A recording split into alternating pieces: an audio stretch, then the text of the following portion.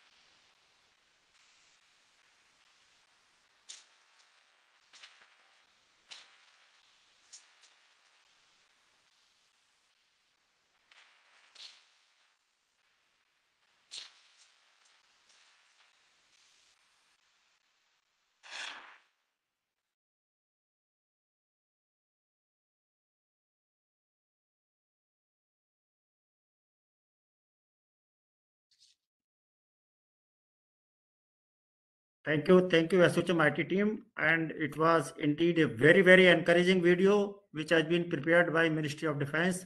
Thanks so much for them all preparing this, such a nice video. And uh, we all are prepared to participate in the forthcoming uh, DEF Expo in uh, Ahmedabad. And we have been informed uh, from the by the Defense Ministry that uh, Mr. Anurag Bajpai will be joining anytime, but uh, we can uh, start the discussions and to move on. I request uh, Colonel K.B. Kuber, a member of the National Council of ASSOCHAM and uh, Director EY to kindly moderate the session now.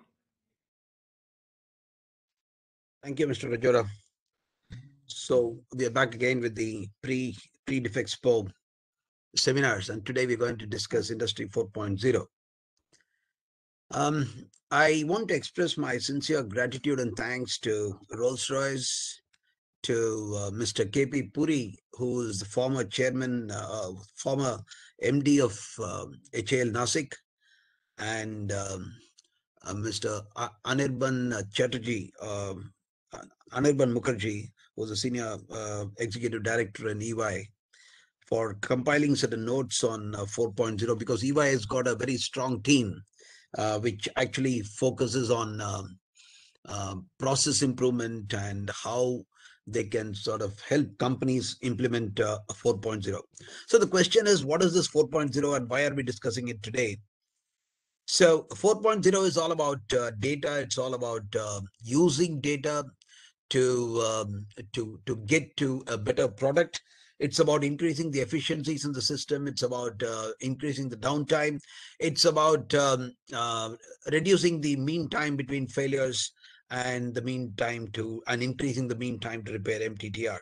So it's about it- it's about making everything more uh, efficient. And how do they do it? They have got what is called as the Internet, uh, Industrial Internet of Things, the uh, the cyber security and cyber physical systems, smart manufacture, cloud computing, um, cognitive computing, artificial intelligence, VR. So, um, you know, full realization of smart computing demands connectivity, and that's what is is making it pretty smart.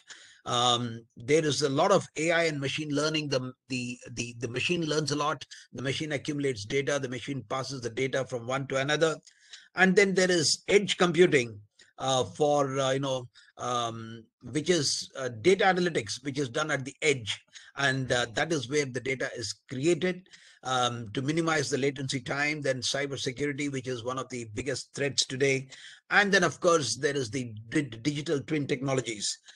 And uh, digital twin actually helps you to uh, to have a twin in your in your own system while you have delivered the product out there, and how you can actually um, um, use the digital twin to increase the productivity improve workflows design new products. So so it's all about we are we are talking of a whole new set of things that uh, uh, that that actually uh, internet of things brings about. So um, we have uh, for example airbus which conducted various simulation sessions on the a350 for the new design and the advanced materials that they used Boeing launched the analytics, which uh, it provides data analytic tools.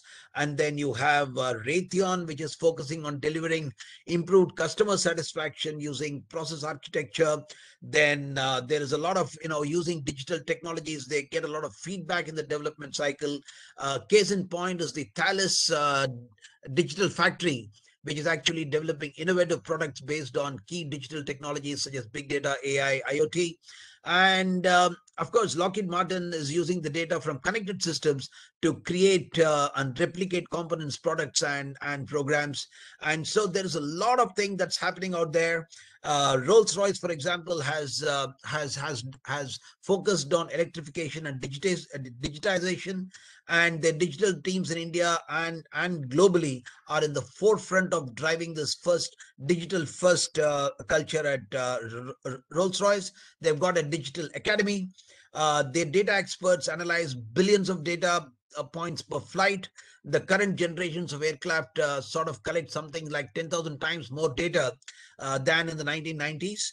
Uh, the pioneering industrial service of uh, of Rolls Royce is about 3.5 billion dollars uh, revenue, and um, so there are there's so many things out there. There, is Rolls-Royce, has, for example, has a strategic uh, partnership with Infosys to digitally transform its aerospace engineering operations in India.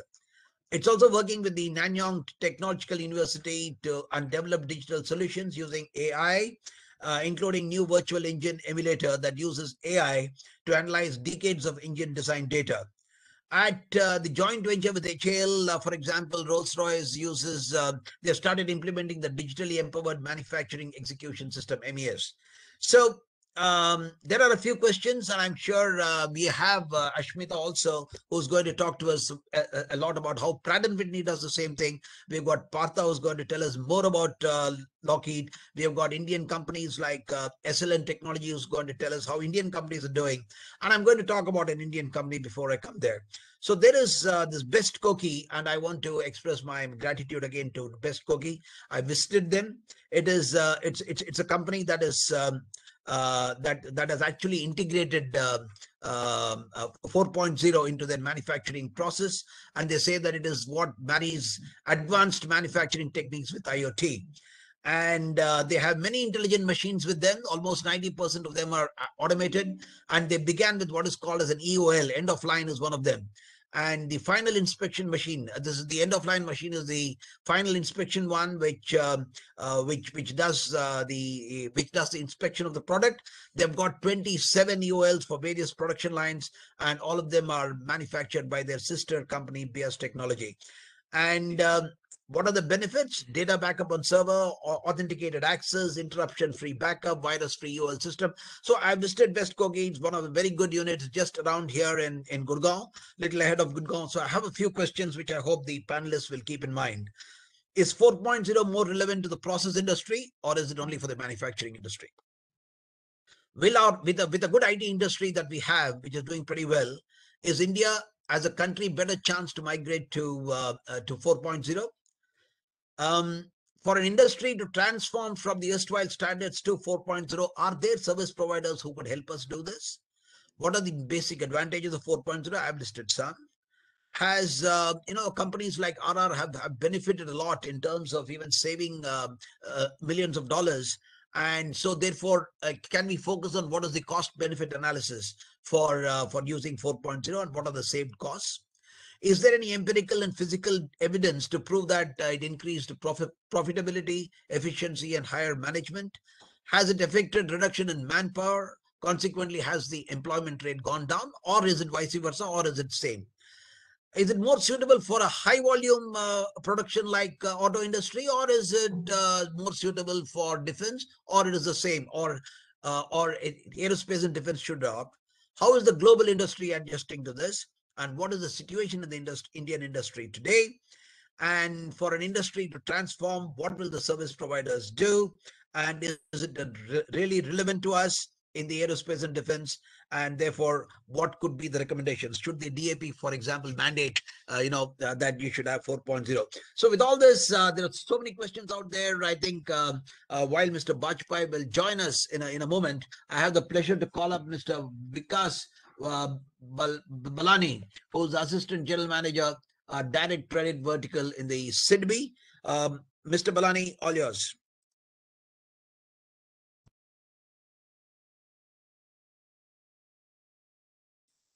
Okay, ladies and gentlemen, I see Mr. Bajpai joined us just now. Mr. Balani, if you can kindly wait, uh, because uh, the Joint Secretary has uh, a Parliament question to attend and he's got uh, uh, urgent work. So I think um, without uh, wasting time, I would like to call up Mr. Anurag Bajpai, who has enlightened us before, to talk today about uh, 4.0. Joint Secretary, sir, all yours. Uh, thank you, Mr. Kuber. Uh, it, am I audible? Yes, sir, you are. You are audible. Yes, sir. Uh, Good afternoon, ladies and gentlemen. It is really uh, nice to be with you all today.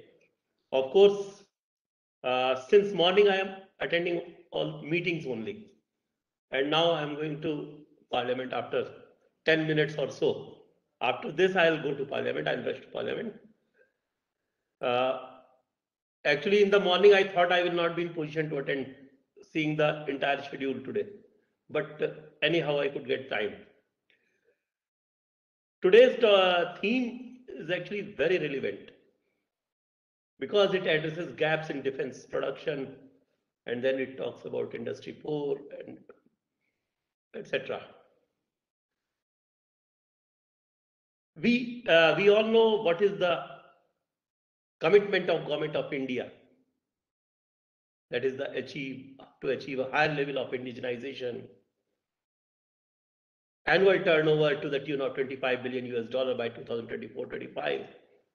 Exports to the tune of 5 billion US dollar. And import substitution. Means that the entire focus of government of India is on domestic defense manufacturing ecosystem. I would like to invite the attention of the August gathering today to the announcement made by the Honorable Finance Minister in the recent budget. It is for the first time that, you know, uh, the allocation for domestic procurement is in the budget this time and 68%. Last year it was 64%. Now it is continuously rising. If we see in the last three, four years, the government has done tremendously in uh, you know, promoting the domestic industries and ensuring domestic manufacturing by allocating the budget. Though it is 68%, but if you see the government intention to substitute the import altogether, it means it is likely to rise further. The other announcement, if we see, that is the industry-led R&D. And the 25% of defense R&D budget earmarked for this for the current uh, for the coming financial year. That is a you know, tremendous uh, effort of government of India or tremendous commitment of government of India. And the focus is now on, you know, industry-led research and development. Perhaps that was the need of the hour.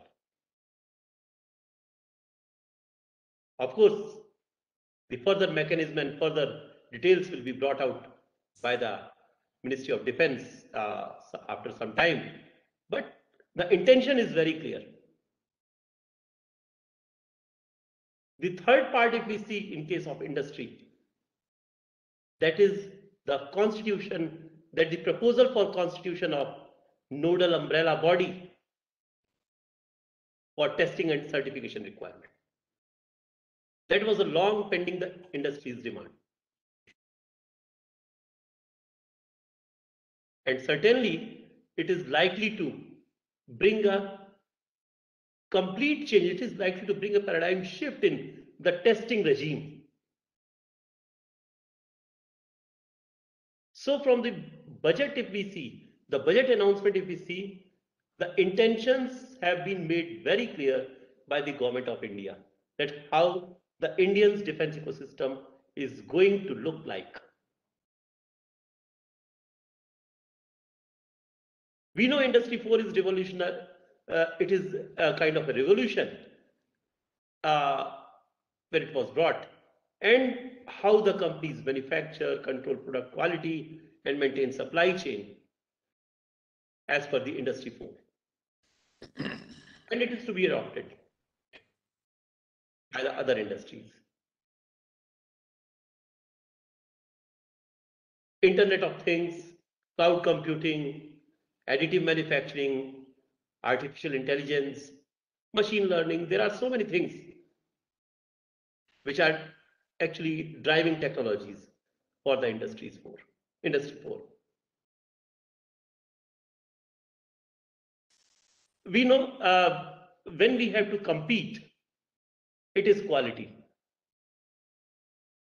The quality of products as per standards certainly this is one of the most important requirement in defense sector because the products are of complex nature high-end technology is there and specific use is also there simulation is also the need of the hour for designing. Designing, trial, or testing of weapon system. We all know that additive manufacturing can be used for part manufacturing with a special focus on quality. Thus, use of Industry 4 tools can help in achieving better tolerance in manufacturing of defense product with the use of automation. Defense industry, including our defense public sector undertakings, I believe that all are implementing Industry 4 in TOT-based process automation, monitoring, control, designing, processing, quality control, predictive analysis, so on. I have been informed that BEL has printed more than 1500 parts in 2021-22 alone at minimal lead time to be more competitive in the current market by use of additive, additive manufacturing technology. Midhani is also working in the field of additive manufacturing, especially to improve availability of raw material, metal powders like. I am sure that private industry must be active in adopting Industry 4 processes or protocol.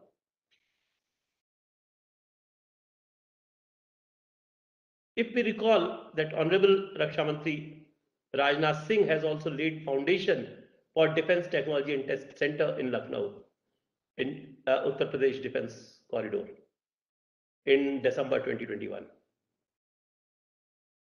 It is the first of its kind Defense Technology and Test Center,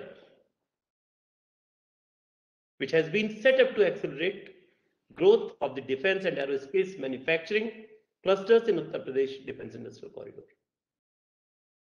It will provide the technological base to develop defense products, keeping in mind the young innovators and startups.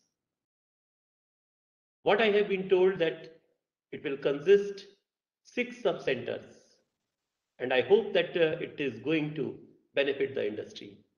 That is Deep Tech Innovation and Startup Incubation Center, Design and Simulation Center, Testing and Evaluation Center, Center for Industry 4, Digital Manufacturing, Skill Development Center, and Business Development Center. You all are aware about the draft Defense Production and Export Promotion Policy 2022, which has been positioned as ministry's overarching guiding document to provide a focused, structured and significant thrust to defense production capabilities of the country. And no doubt it is for self-reliance and exports only, which is ultimately going to affect our industrial ecosystem. And one of the important objectives of this policy is to create an environment that encourages research and development, rewards innovation, creates Indian IP ownership, and promotes a robust, robust and self-reliant defense industry. We all know about the achievements of IDEX about 89 uh, you know challenges have been you know under treatment at present. 63 startups are already working 63 contracts were signed. And i'm happy to inform that in last 2 years or with the efforts of last 2 years about 9 products now have reached to the stage of testing and trial and one contract for procurement has already been signed by Indian Navy. So the results are now coming with the efforts which we have started basically two years back and now we are continuing with them to a next, we are trying to reach to the next level. There is another program of Government of India that is Samarth Udyog Bharat. I hope that many of us will uh, maybe knowing. It is an Industry for initiative of Ministry of Heavy Industries and Public Enterprises. It encompasses manufacturers, vendors, and customers as the main stakeholders. The experiential and demonstration centers for Industry 4 have been proposed to spread awareness about it amongst the Indian manufacturing industries.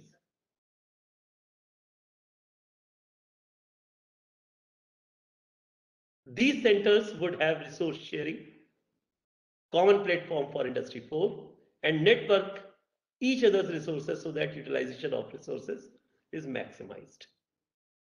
So there are many, you know, uh, actions or reforms or budgetary, you know, actions towards the budgetary support.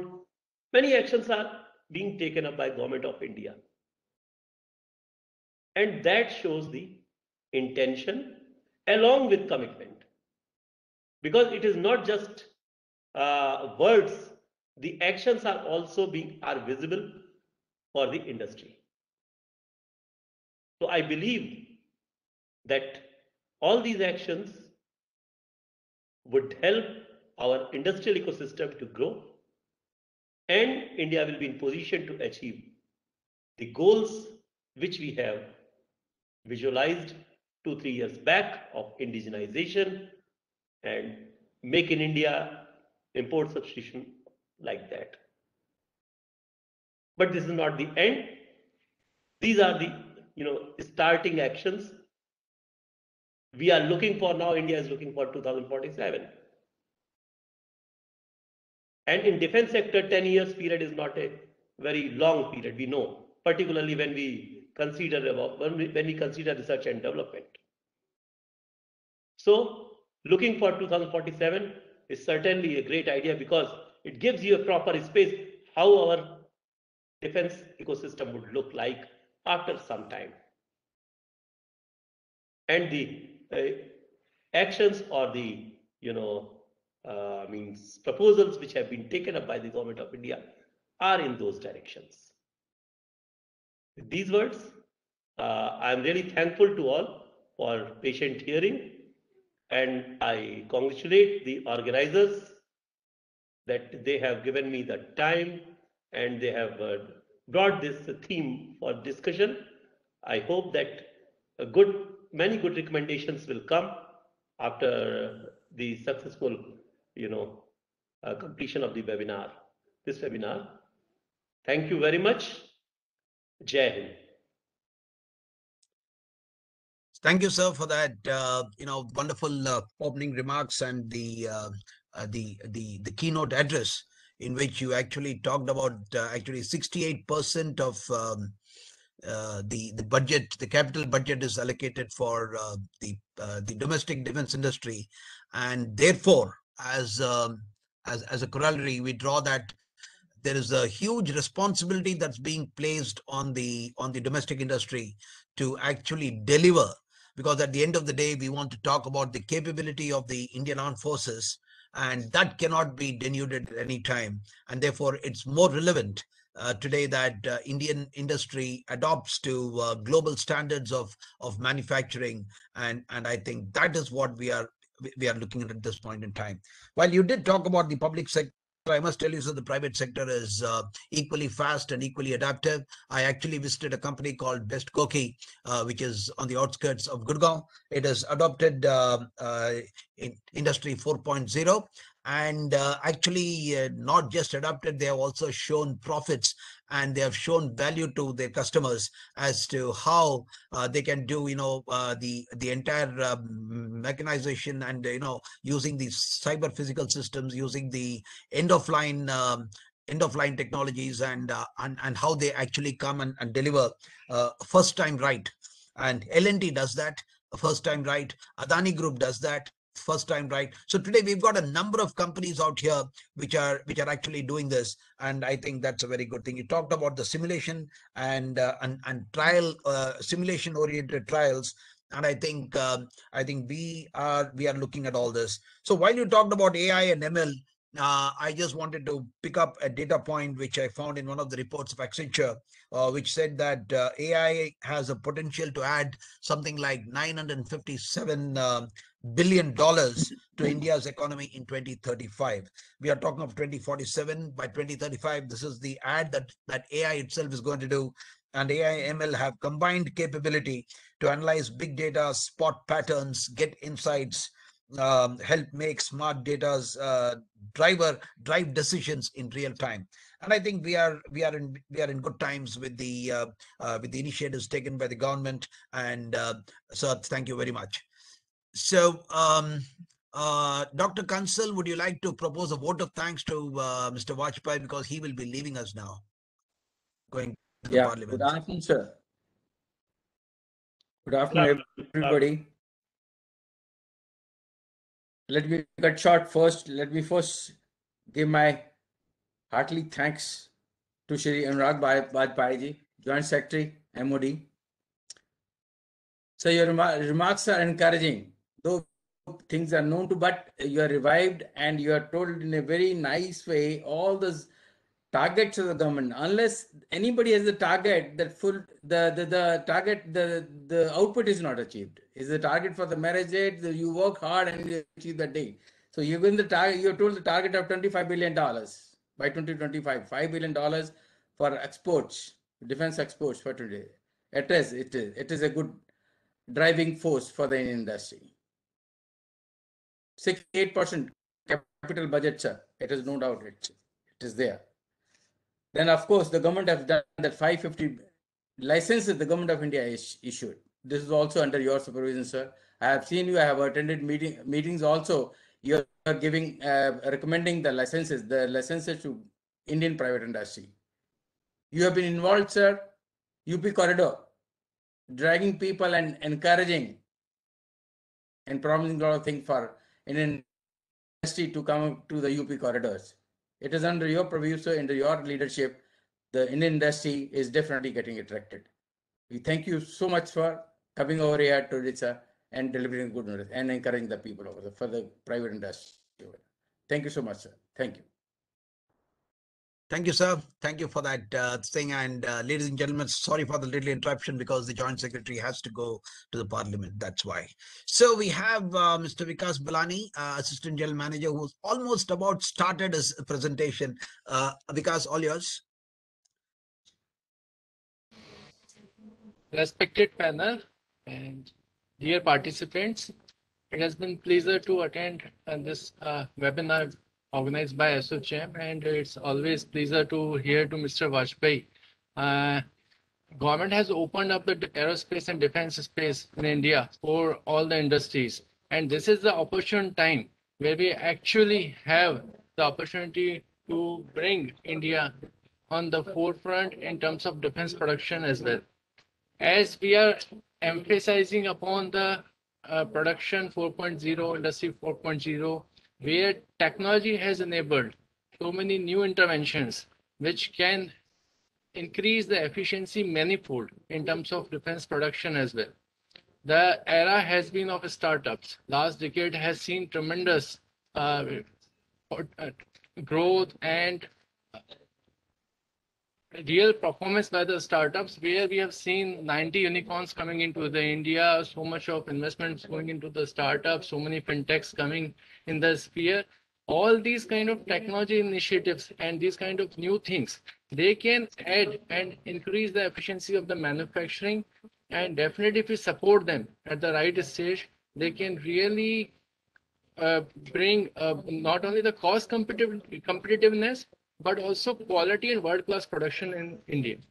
So all this, where government is striving hard, coming up with the great initiatives like Defense Expo for last various years. Again, this year in March, we are going to hold it in uh, Gujarat.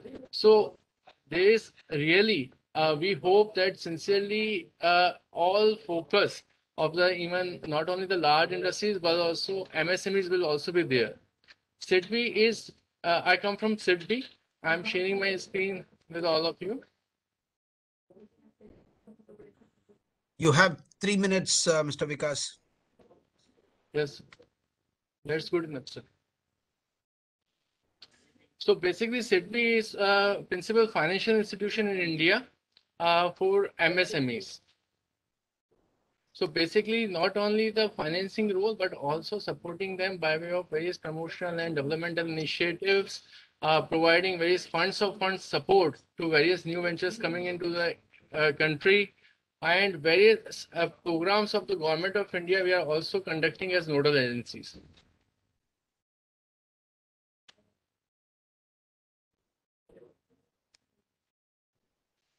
In 2020 itself, to complement the efforts of the government of India, SIDBI came up with a detailed plan for aerospace and defense sector, and we have partnered with uh, various consultancy firms where we have come up that we would be having a total bouquet of things for this kind of defense production and defense sector. So we are conducting with our partner institutions various outreach events along with various industry associations across the country, and uh, in that we are seeking feedback what we can do for the sector as a whole what new financial and credit products can be developed for the sector how we can give them handholdings how we can bring dpsus oems and smaller msmes and mid-sized msmes uh, together on the same board. So these kind of things uh, also providing the various knowledge inputs uh, knowledge material industry insight this kind of a&d uh, tailor-made solutions. Uh, that whole bouquet we have been working upon, and we have already touched upon at 20 major clusters all across India by various outreach events till now, and we would be doing more. A detailed uh, web portal, which was under development, that would also be launched very soon, within this month itself, where MSMEs can showcase their capabilities and products to DPSUs, and OEMs who are into defense production as their tier two and tier three vendors. And uh, these this portal is the kind of a, a, place where they can all come together. Whatever capabilities MSMEs have, they have they would be having an option to prepare a readiness assessment for their firm itself. There they can uh, put and assess uh, uh, themselves across various parameters, which would be reflecting a rating to the industry, which would be available to various uh, DPSUs and OEMs, and they can later on contact them uh, for various interventions, various products and offerings which are available with them.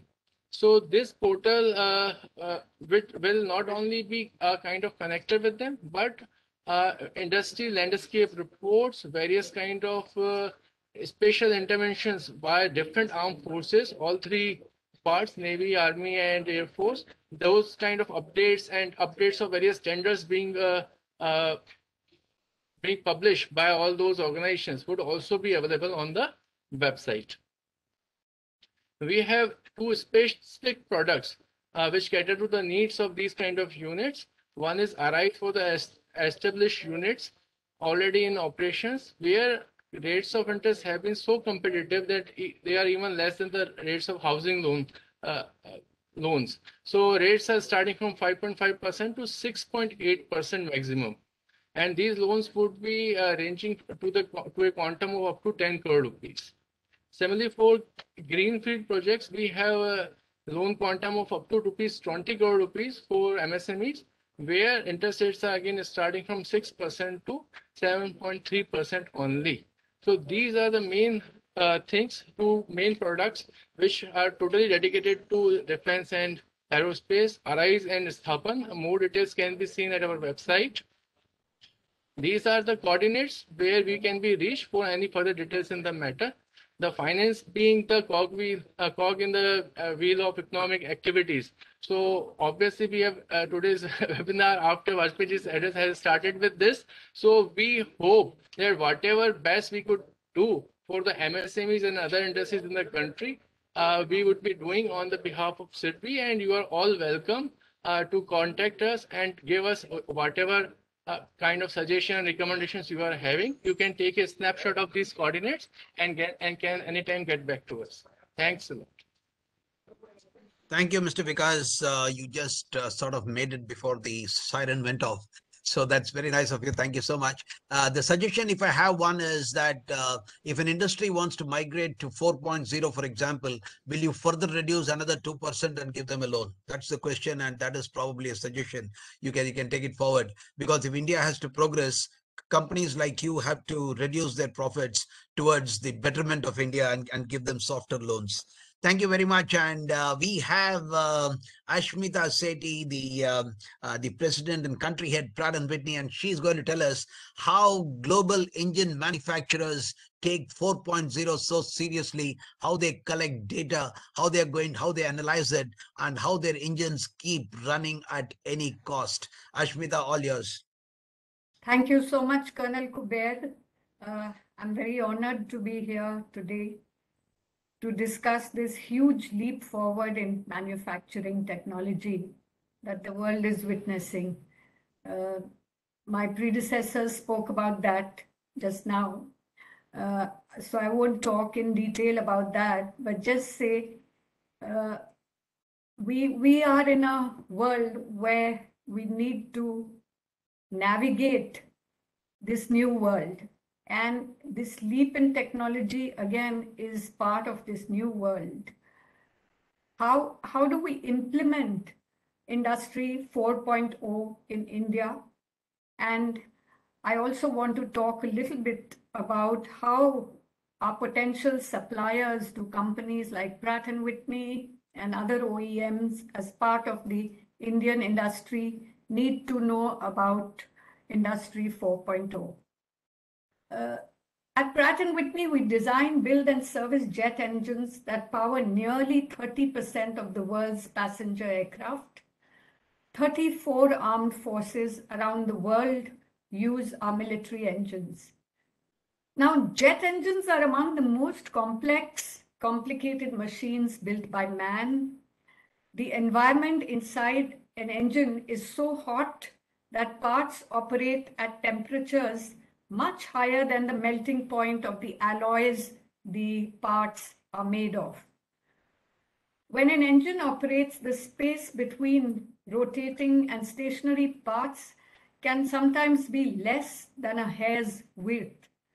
Each engine has thousands of moving pieces and they must all work seamlessly together on every engine every time.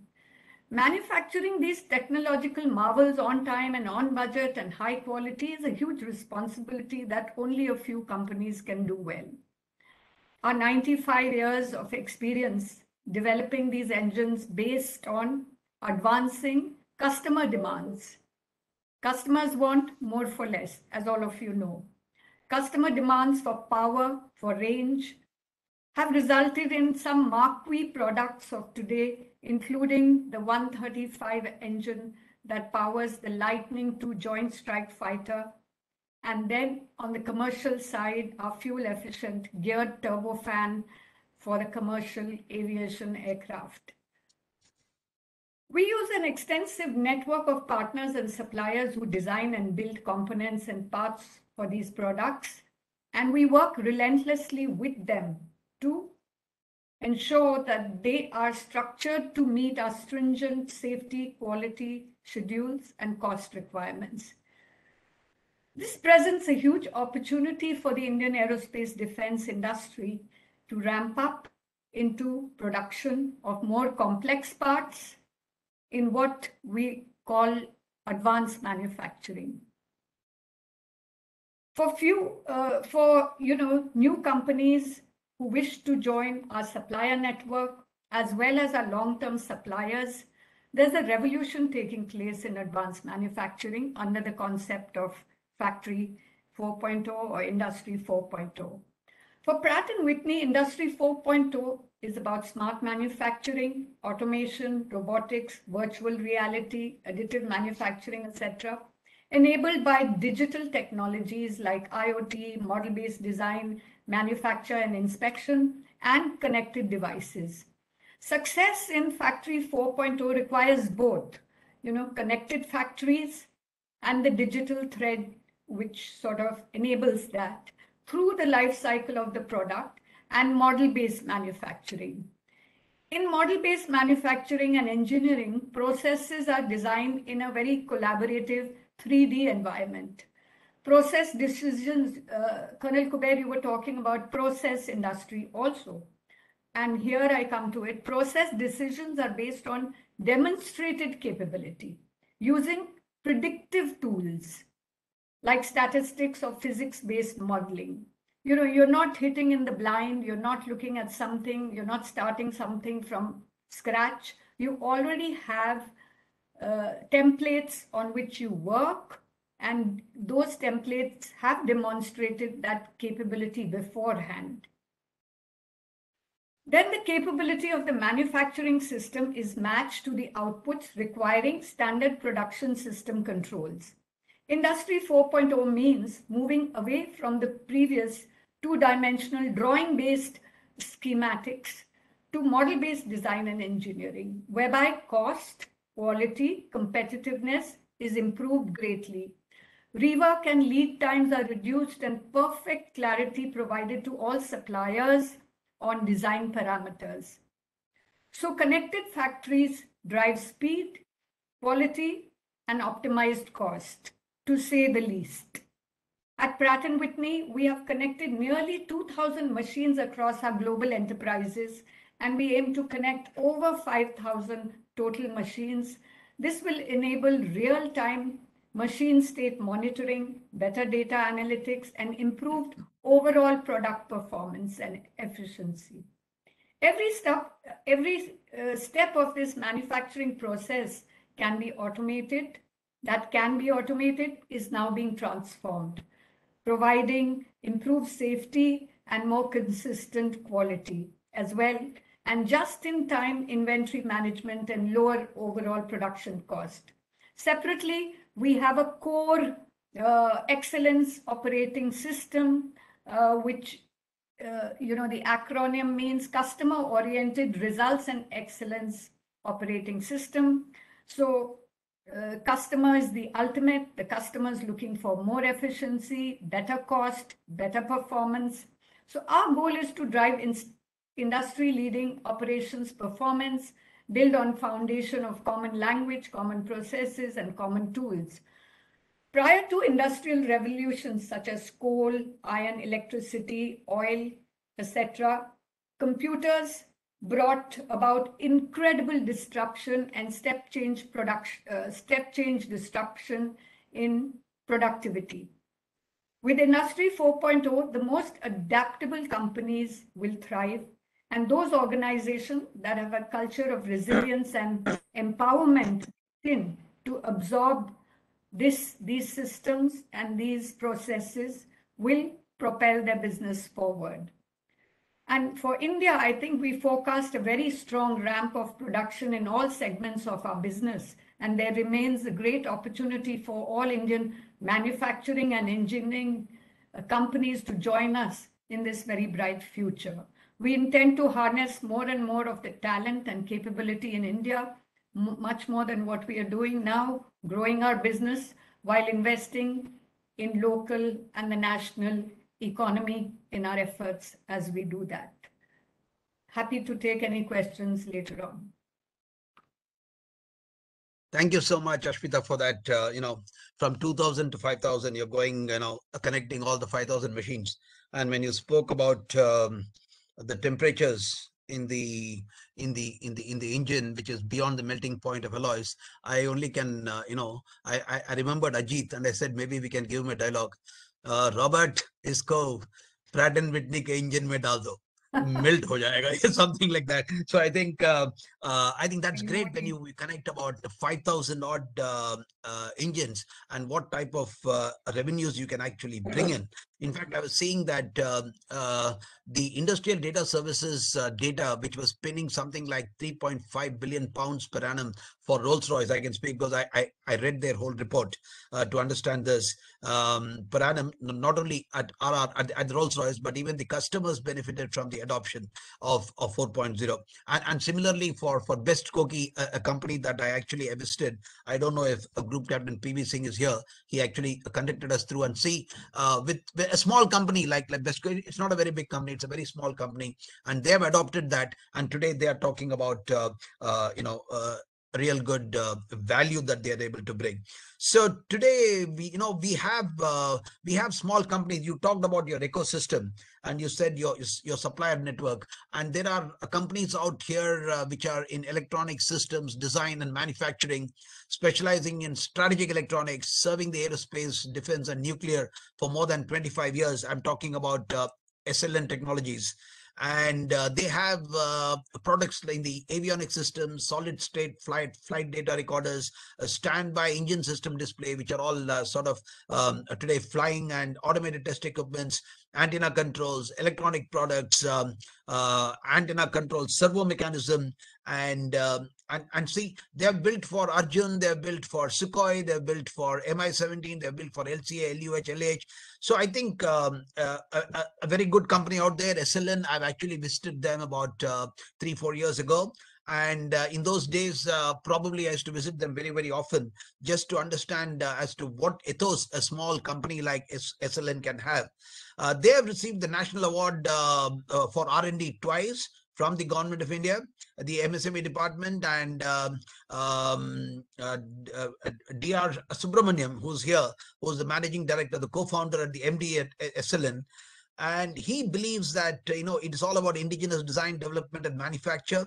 And um, he's been the chairman of the Empowered Committee uh, of SME in CIT, vice chairman of the Aeronautical Society of India, Bangalore, elected member of the CII Karnataka State Council, director aerospace and well, um, there are a number of awards, Lifetime Achievement Award from CID, Udyog Patra Award, and uh, Friend of Mission Reach from uh, the Department of Science and Technology. Um, an engineer, um, Subramaniam, all yours. Thank you so much, uh, Colonel Kuber sir, and uh, good afternoon, um, the panelists and uh, participants. Uh, implementation of Industry 4.0 in MSME sector uh, itself is a big subject.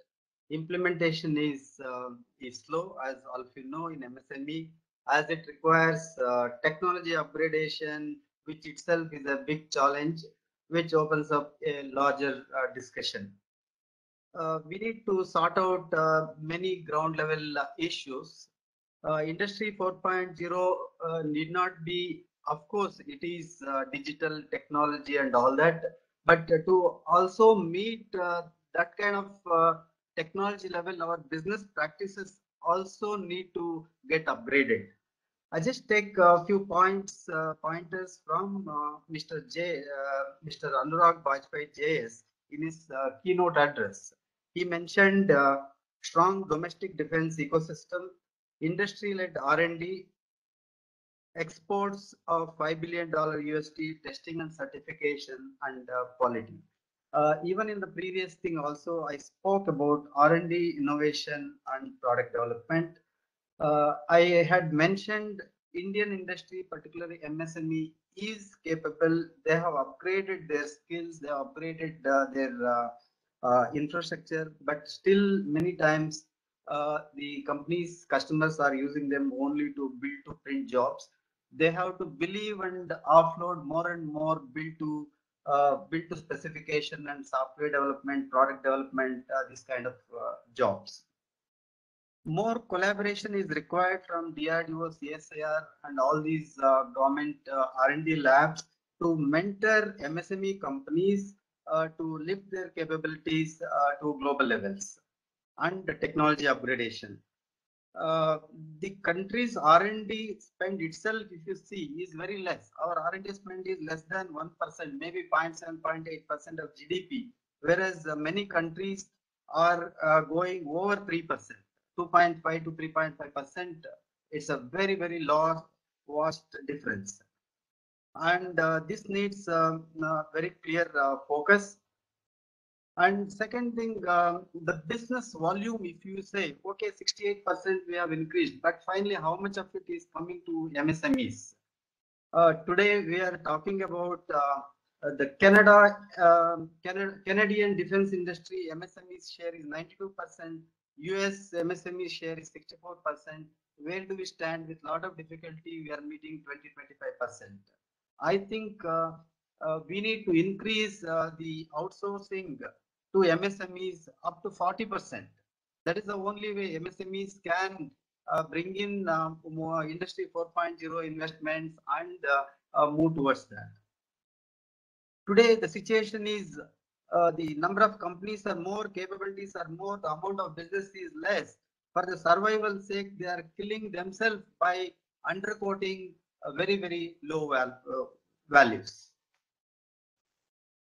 If you take up, uh, there are a lot of delays in Indian uh, you know, execution. Execution is a big problem. Okay, added to that uh, recently, global semiconductor shortages. The components, what we used to get in four weeks, eight weeks, today we have to wait up to 52 weeks, 60 weeks. It has become a big problem. In such a situation, if we see our uh, in you know in defense and uh, aerospace the inspection third party inspection certification approvals is a major thing.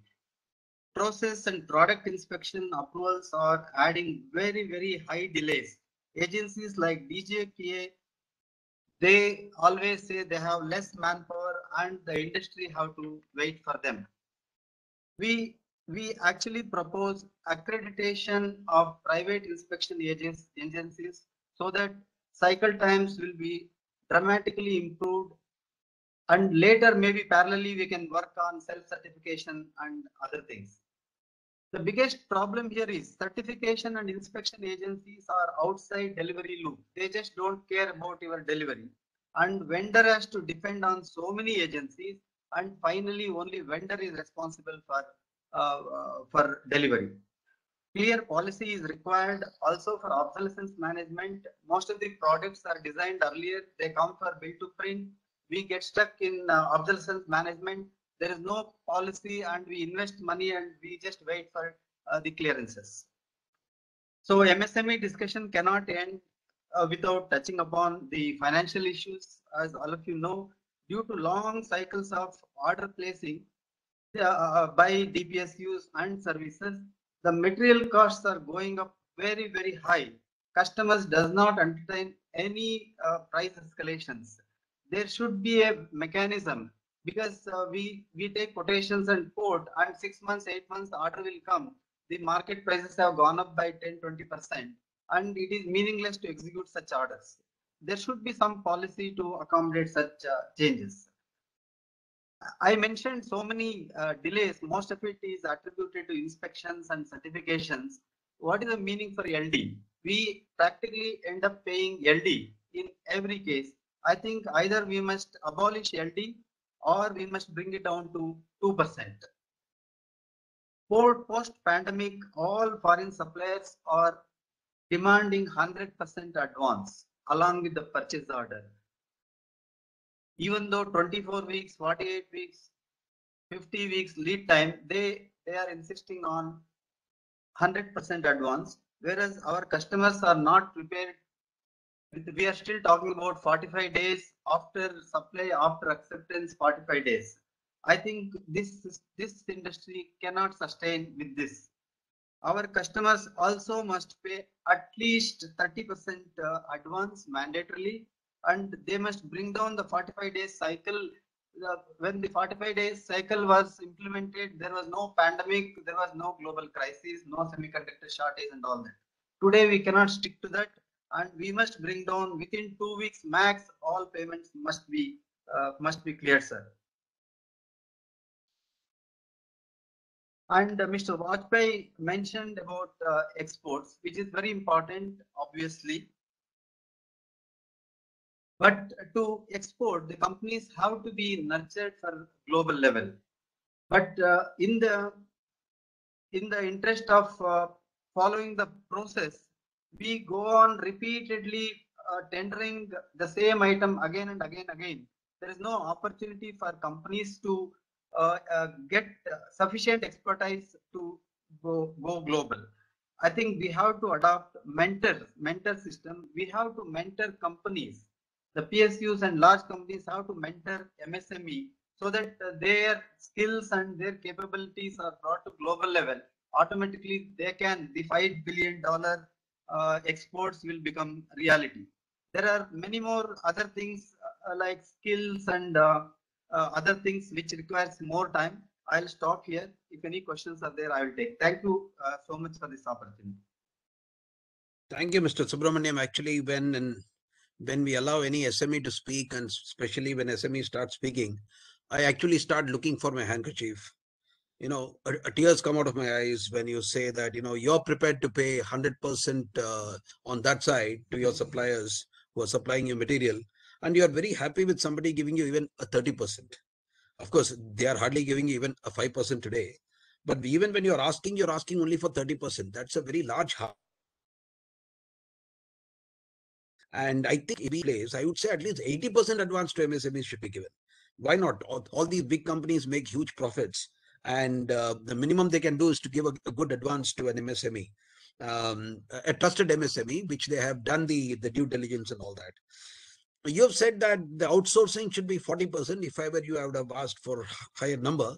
But then that 40 number is very uh, uh, intriguing to me. So when you say 40%, how many MSMEs have, have gone to, you know, if I put a decimal in between 4.0? So then that question comes up and we do not know. When we actually go down to that figure, we find that maybe it's not so encouraging. And of course, uh, companies are there which have gone there and, uh, you know, and then you talked about uh, the waiting period of the components, you talked about accreditation, you talked about, I think there is a lot going on there. And i think the government is already uh, encouraging is already encouraging self certification they've already uh, uh, they're, they're going ahead with the accreditation third party inspections and so on they're trying to get dgqa out of the loop as much as they can and um, i think that's that's very uh, that's very encouraging so i must say that you know when when you say you have to pay ld uh, in almost every case i'm i'm surprised when these big companies do not pay ld why do they charge ld on you so, um, well, there is there is a lot to learn from that, and thank you very much. And here, ladies and gentlemen, I have to turn to another XNDA. Uh, I think every time we have an XNDA who's coming from somewhere here and there, and um, uh, another XNDA like me. Um, uh, but uh, unlike me, he is um, he's got his higher education. He's done his economics uh, major from US he is a person who talks about innovative funding systems. He thinks about how, how you can generate funds in a in a fund strapped uh, industry like this or in a fund strapped economy. And uh, he is uh, presently the commercial lead, rightly so, because he is uh, he has some innovative ideas over there. I have great pleasure in inviting my friend Partha Chowdhury. Partha Roy Chowdhury, all yours. Thank you so much, sir. Thank you for that uh, nice introduction. Uh, let me just uh, bring out some point here uh, about the digital revolution and the industrial revolution we are talking about. So industry 4.0 advancements are uh, revolutionizing the whole manufacturing and production in many industries. But for defense system, uh, manufacturing is just the beginning. So as Lockheed Martin accelerates in its ongoing transformation with cutting edge technologies, and the new ways of working, it's looking at the bigger picture. So that this to achieve this truly disruptive innovation, we have to think holistically about, uh, uh, I should say, the transformation. Above all, our customer mission matters most to all of us. The mission-driven transformation is looks is not just an internal operation. It's a new way of innovation that will enable us to join the all all domain operations and uh, making our customer more capable. We heard uh, our Honorable Joint Secretary, Department of Defense Production, about a holistic transformation strategy, and he's also challenging the industry to do the same. He's talking a lot about digital engineering, advanced software development, open system architectures. Lockheed Martin is aligning those priorities to accelerate our own transformation and support the mission. Let me talk about how we do our digital and model-based engineering. Building on a years long of transformation, Lockheed has revolutionized its approach to digital model-based engineering uh, that ensures a system that fully supports the mission, making it easier for the you know easier for the conduct strategy engineering to trade off and manage some changes. Uh, we can call it a digital twins uh, that create in de detailed models as built-in system, use machine learning and data analytics uh, the word we call it as uh, fly before you buy. So you're predicting practically the performance in the field, optimizing maintenance and streamlining the production. A very interesting uh, uh, series that I was I saw yesterday in Netflix was called A Good Doctor, where a small African boy uh, is given a, a, a, charitable organization brought him to a U.S. hospital, and the doctors are thinking whether they can save him or not. They have a tough, tough time seeing this a very small boy, and they the heart is totally unrepairable. What they can do, so they uses a, a model, a digital model of his heart by AR VR, practices on that, sees the result, and then goes on the operation table. So I, I could really uh, make that story uh, I should say, a learning lesson for all of us is the same way what we are trying to do today. It gives you a second chance, which uh, is seldom possible in the normal world. So this kind of a multidiscipline integration, which enables a real-time analysis of uh, multiple aspects of a system's performance, uh, the aerodynamics, uh, thermal properties, which uh, right now uh, Raytheon also mentioned, so those analyses used to occur one at a time, but today at a high performance computing system, they can run simultaneously to dramatically cut design the time. So these are the technological advancements that uh, 4.0 has brought and we are already using it in Lockheed. Some of our program integrates advanced computer aided designs for product lifecycle management tools in aeronautics. Uh, this is to accelerate the design and enable greater use of uh, robotics, 3D printing, automated quality inspections, and this is are all because of the need of the customer that we have today. Mention not that we also uh, transform our supply chain manufacturing design phases and also have a better output. An example of CH-53 helicopter program, which has embraced digital engineering. So the digital engineering, the designs based on 3D and are maintained through a manufacturing assembly process. We cut costs through it. Not only that, we improve quality and avoid costly rework. I was talking about the next generation trans uh, next generation software. We're transforming everything in a way to develop uh, software tools and processes. This is not about only our tools and process. It's also about the culture and the training. Those are also has to be changed in a in a in a better way. An accelerated uh, software development process is enabling uh, rapid prototyping for newer capabilities. I just uh, heard uh, Midhani, uh, somebody mentioned that Midhani is going ahead. So they are actually trying to make a metal powder. So why? They are actually completing the whole process of uh, 3D printing right from the metal powder till the final product. And that will um, help a lot of engine manufacturing company to test and trial uh, without giving up, setting up a huge assembly line and a huge cost. Uh, Lockheed Martin launched a program for nanosat designs to test a new software defined architecture uh, which will enable artificial intelligence, data analytics, cloud networking, and satellite communication in much better way. We have also developed um, a modular open system architecture for omnipresent connectivity. Just imagine one of those commercial technologies, 5G. Imagine a network which is 100 times the bandwidth and a fraction of delay of current cellular networks. Uh, that's the promise of 5G is for tactical forces. So we are trying to connect warfighters at the edge. It always been a tough communication challenge.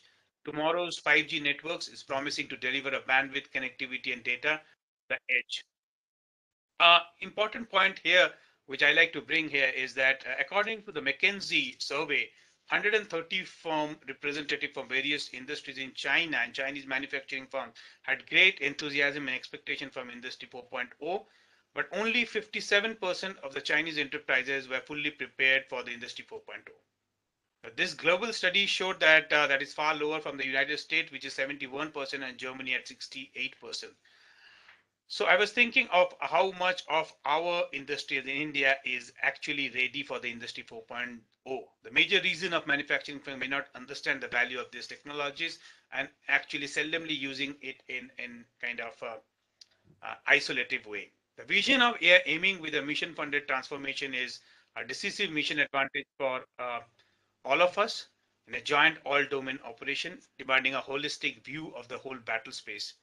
And this is not only a digital ready workforce, we are trying to accelerate our economy today through this industry 4.0 and additive manufacturing. Thank you so much. Kuber, over to you. Thank you, thank you, Partha. In fact, it was very interesting that you you brought out, um, you know, Edge. Uh, you brought out that uh, you know the good doctor, and uh, the accelerated prototyping. And I thought uh, I should mention at this point in time that Lockheed Martin is actually using uh, data from the connected systems to create, innovate, replicate components, products, and entire programs as part of a totally integrated system where data threads come together to form a digital tapestry. I talked about it in my initial remarks too. Uh, and this digital tapestry actually brings people, processes, and tools into a common information framework across the life cycle. And uh, this type of a free flow of digital information eliminates manual transfer of data and the costly errors that go into it.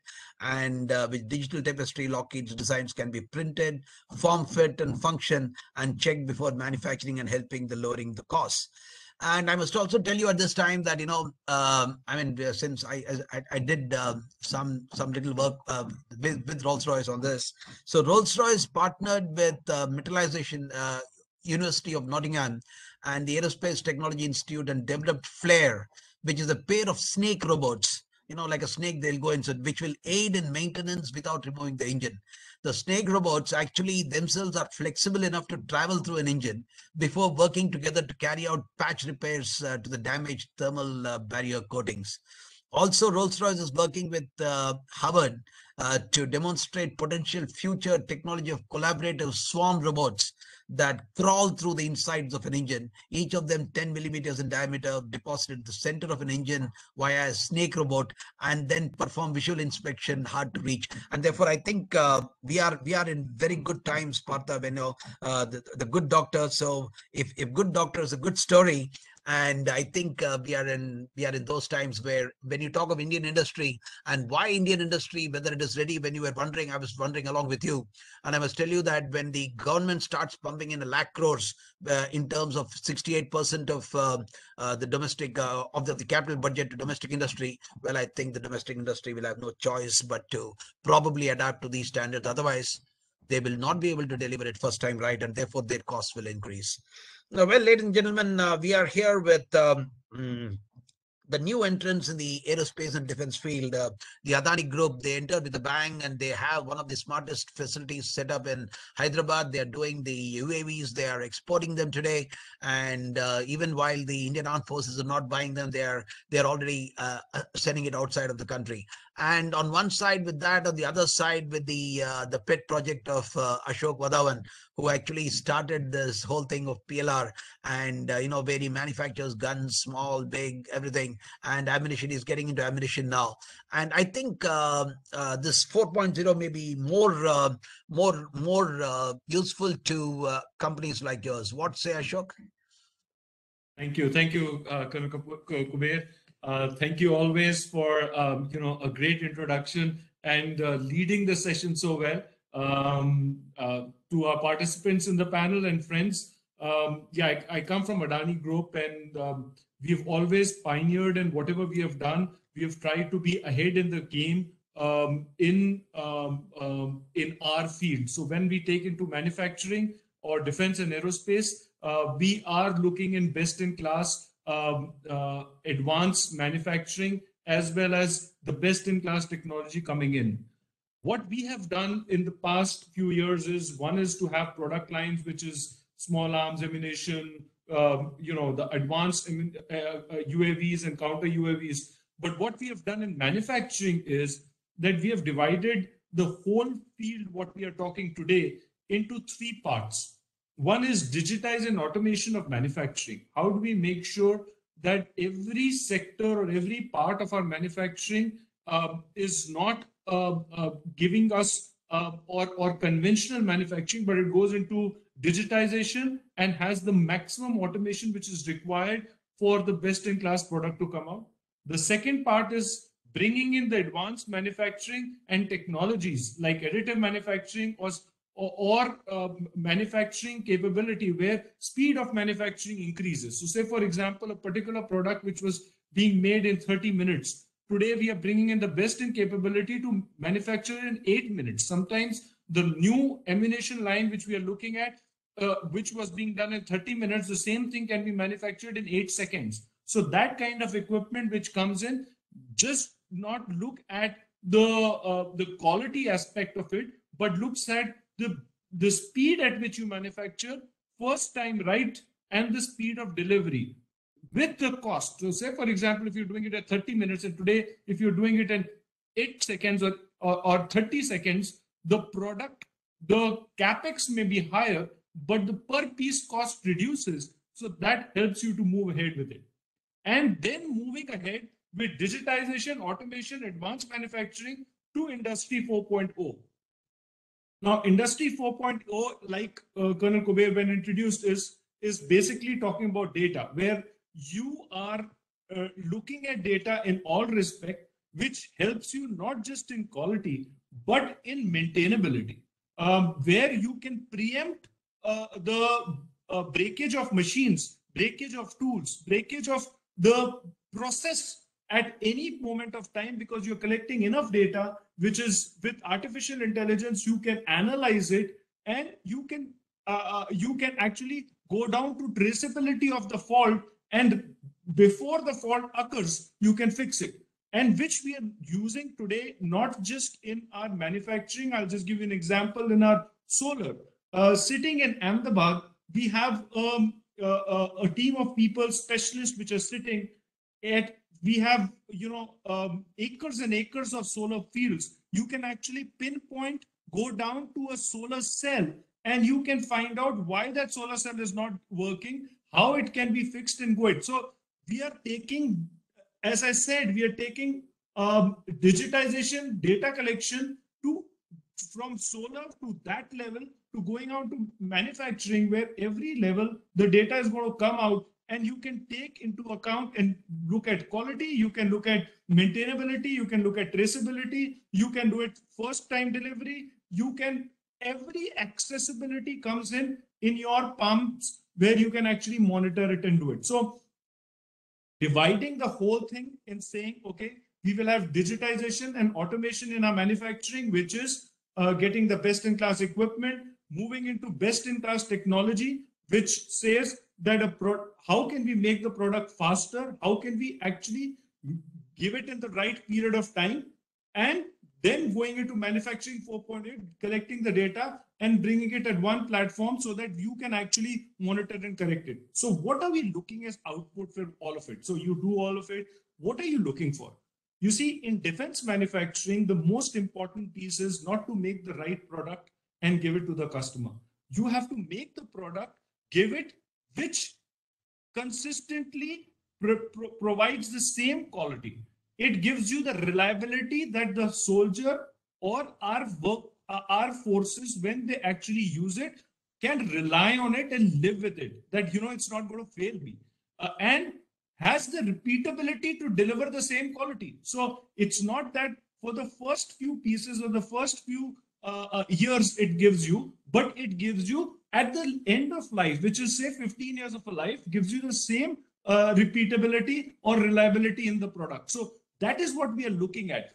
Normally, uh, in defense manufacturing, the way we analyze it, it's it's uh, uh it's the highest level of uh, of manufacturing because in a, if a doctor fails once for a doctor he may be six sigma he is doing 0.3 0.00034 uh, failures in a million opportunities. But for the patient, he fails once. We are going down to that level and saying if a product of ours fails in the field when a soldier or if a, a, a forces are using it, that particular failure is going to cost life. So in a automotive industry where you would want to get in the best of class manufacturing, the, the liability is a particular value, but in this it's life. So it's like healthcare manufacturing where a particular product cannot fail. Similarly, in defense manufacturing, not just aircrafts, obviously aircraft fails, it's a failure, but every single product of ours, be it a small ammunition, which does not fire at the right moment of time, it could cause a, a life and death situation. So that is the way we look at defense and uh, aerospace manufacturing, and we are not compromising in each one of them. We are going and working from digitization to manufacturing 4.0 and implementing it. So when we bring in the ammunition plant, which is going to be producing 100 million rounds, it comes with manufacturing 4.0 built in, uh, which means data collection at any every moment of time. Um, uh, you know, uh, at at our level, at our leadership level, at our level, when we look at manufacturing, manufacturing, getting into defense and aerospace, though we are new, but it is like healthcare manufacturing. And I would leave it there and say, when we do this, we expect similar with uh, MSMEs and MSMEs. We don't expect them to be at that level, but we support them to come up to that level to be able to provide uh, uh, the parts which it is. So we are looking at not just R, we are looking at an ecosystem uh, which will be able to deliver the best in class to our forces. Thank you. Ashok, thank you very much. You actually answered the question that uh, Mr. Subramaniam raised some time back, whether you know these companies will mentor us at all. And here is Adani Group, which is standing in front of saying, yes, of course we'll mentor. We are going to stand with them and we are going to take them forward. You talked about digitization, manufacturing, and reducing the time from 30 minutes to eight minutes.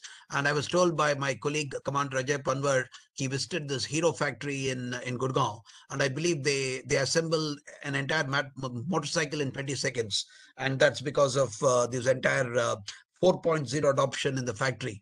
Did he say 20 seconds or 30 seconds? Doesn't matter, maybe 10 seconds here and there, but that's the time in which an entire motorcycle can be uh, sort of uh, uh, assembled. You talked about the capex versus the per cap per uh, per piece cost. I think that's a very very interesting point that you brought about, and there comes the advantage of uh, adapting to 4.0. So industries that are thinking that no, they are going to invest money in going to 4.0, they should remember this that it's going to be per piece cost that's going to reduce, and therefore the profitables are going to be very very high you talked about data and you talked about the quality maintainability traceability and you know your solar cell where you can easily pinpoint in the huge farm.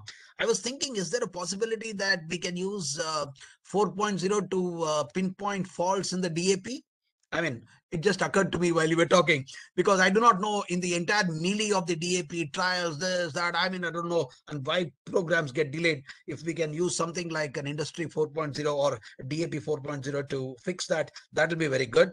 It'll make it faster. It'll be right at the point in time. We talked about consistency, reliability, and I was very happy that you we connected with what Partha said some time ago. A good doctor, and you talked about a good soldier. And uh, when a doctor fails, I think uh, there is one patient, uh, whatever 0.014%, whatever it is, but there is one patient. When a soldier fails, it is a number of lives that are getting getting lost.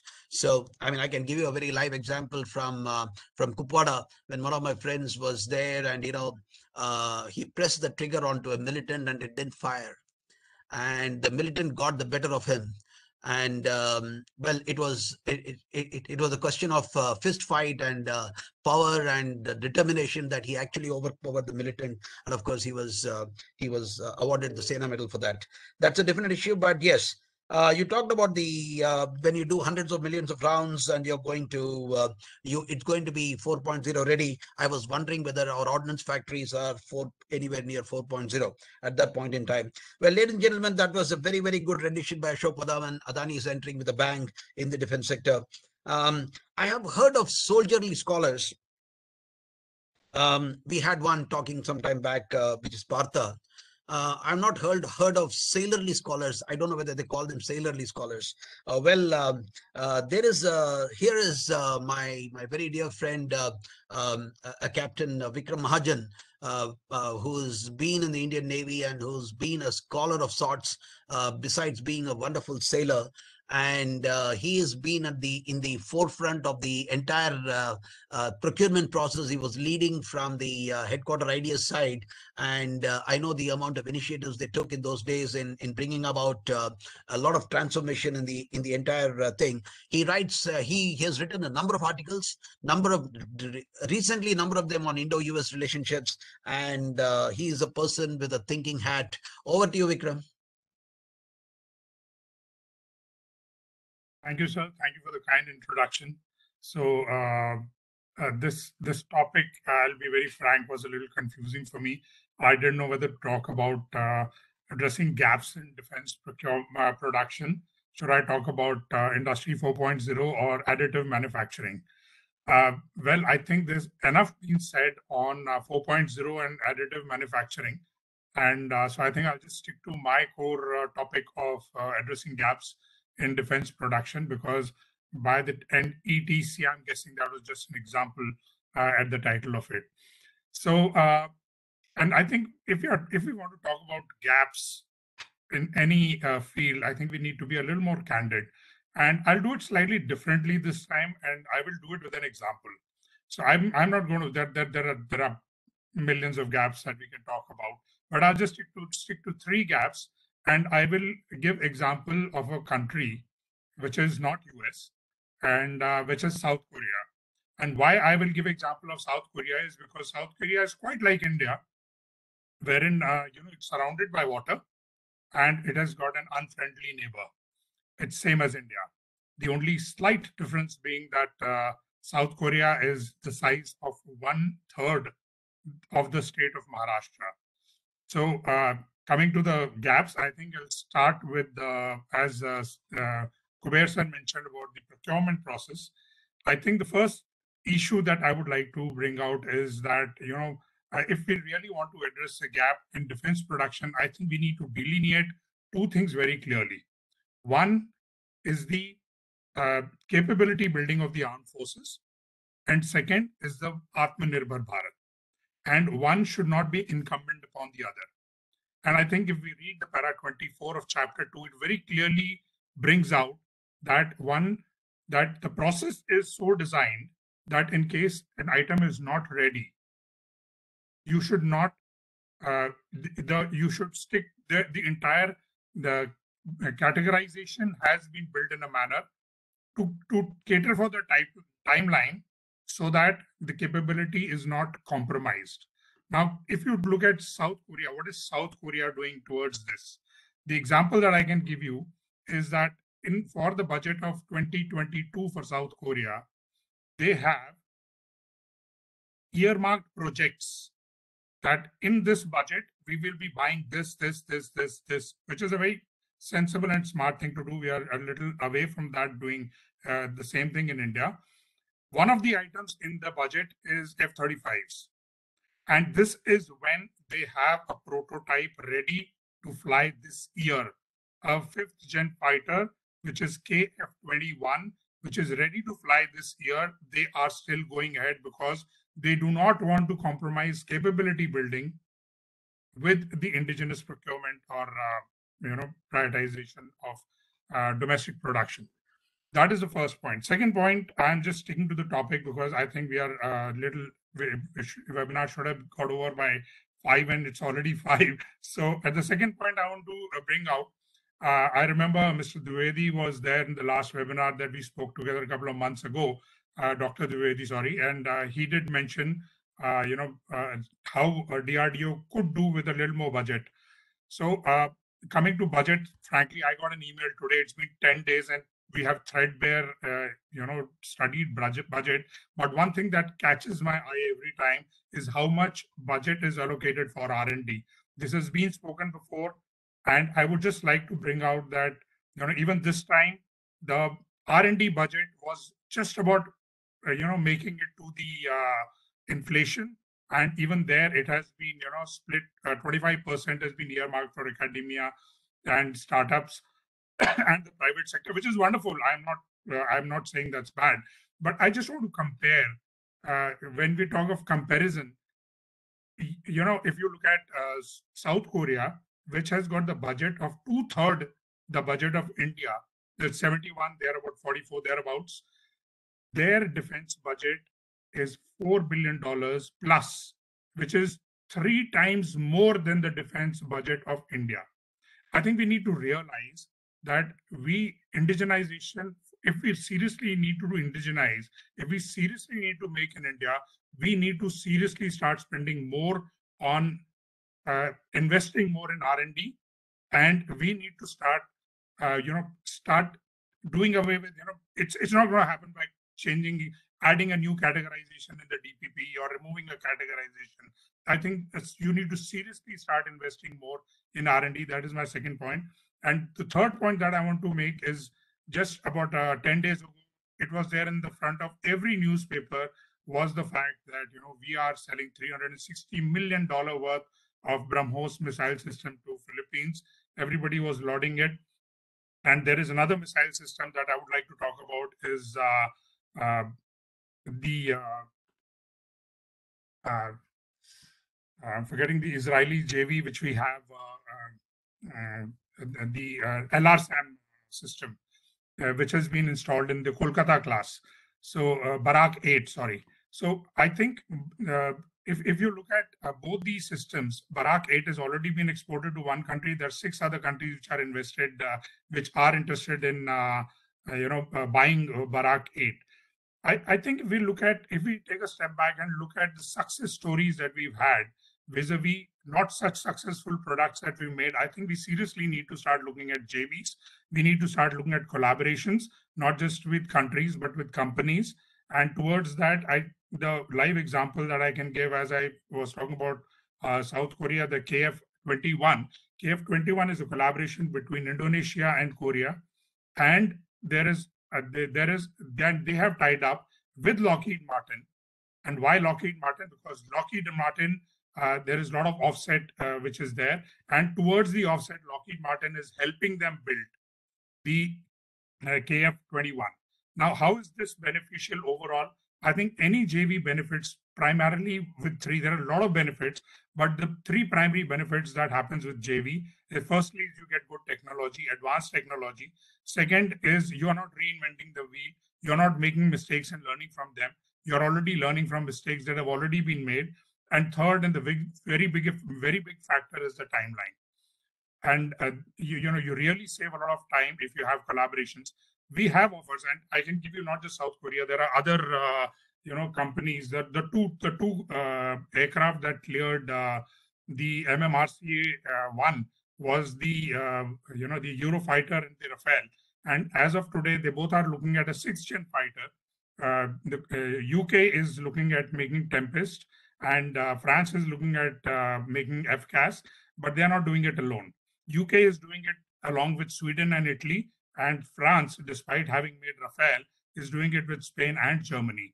So I think there are lessons to be learned here that how JVs are important, and we need to uh, uh, going forward, we need to uh, you know look at that, uh, look at forming JVs. Now coming back to where I come from, that is US India, I cannot not mention it. So just towards closing, I think we have a very strong uh, relationship between US and India. We have done we have done amazing uh, work uh, towards towards uh, you know the collaboration that we've had in military strategically, and we've had great platforms which we've got from US. But going forward towards Make in India, I think what we really need to push forward is we've had a DTTI which has been 10 years in the making. We have signed one project. We need to push that, get more projects towards co-production, co-development. And uh, there is an ISA which has uh, been signed, but which is being formulated. Last year, we heard uh, Mr. Bajpai at one of the seminars talking as to how we can go ahead with the, you know, uh, uh, formalizing it so that better transfer of technology can take place, place through ISA. And all this will actually broadly help in uh, the core aim of, you know, enhancing defense manufacturing in India. That's all from me, sir. Back to you. Thank you. Thank you. Thank you, Vikram. Uh, in fact, we heard Partha talking about the good doctor. We heard Ashok talking about the good soldier, and you are a good sailor. So I think we are, uh, you know, and, and and a very scholarly sailor. And when you talked about the para 24 of the of the of the DPP, and you know, then I see, you know, on one side we have a DPP, we have an RFI, AON, RFP, trials, this, that. And one fine day, MOD says, I'm canceling 90 programs because we don't like this. And, you know, all those four years, five years of effort has gone in one shot. It is in the air. And I mean, I do not know uh, what, I mean, I'm sure there is a lot of wisdom behind such a decision, but uh, I will leave it there um, without uh, creating more controversies over that. But the point is capabilities of the Indian Armed Forces, what you talked about. And I think that's important. Um, uh, Atmanirbhar is a great story. Capability of the uh, capabilities of the Indian Armed Forces are very, very paramount, and they both have to meet. It cannot be parallel lines. And therefore, I think that meeting point is something that we've got to decide and find out where it is. And um, how South Korea does, I think that's a very wonderful thing you talked about. Instead of saying, uh, I'll give you 68%, they said, I'll give you 68 programs. I think that's a very nice thing. So I, if I can do 68 programs this year, so the industry knows these are the 68 programs, no matter what the cost and uh, the, uh, the the government knows the armed forces know that 69th program is not coming in they are prepared for that the uh, the industry knows they are prepared for that people like subramaniam who go and pay 100% advance to uh, raw material suppliers the, he's prepared for that. He knows for 68 programs I can pay. He knows that he'll get only 10%, 15% advance from these big guys. He will suffer that as MSME. But yes, but then there is a predictor. You know, you talked about that entire digitization. We are talking about 4.0 digitization. So you, you can predict uh, and, and, and, you know, book your loss and also book your profits. You talked about Brahmos, it's a great example. You talked about Barricade, a fantastic example. You talked about JVs, but then I must tell you there are 47 JVs today in the in the defense sector. I do not know how many of them are actually successful. I do not know if JV as a concept is a successful model or we should look at successful JVs and see how they have done and therefore do it accordingly.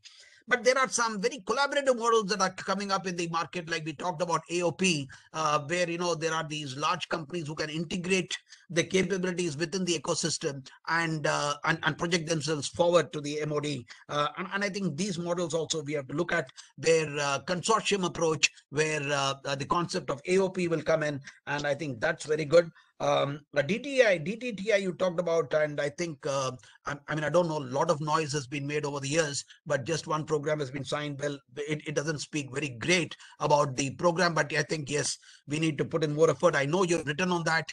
Uh, i know you've written on the indo-us relationships and how we can take it forward. I think this is the time to do it. Very good example you gave of UK uh, collaborating with uh, Sweden and Italy, uh, France collaborating with Spain and Germany. I think uh, Atmanirbhar also means collaboration, collaborative Nirbharata. So we have to depend, interdependence is probably more important than uh, independence. And interdependence creates friendships, interdependence creates relationships, interdependence creates power. And I think that's a very, very valid point you bring about, and it set me thinking.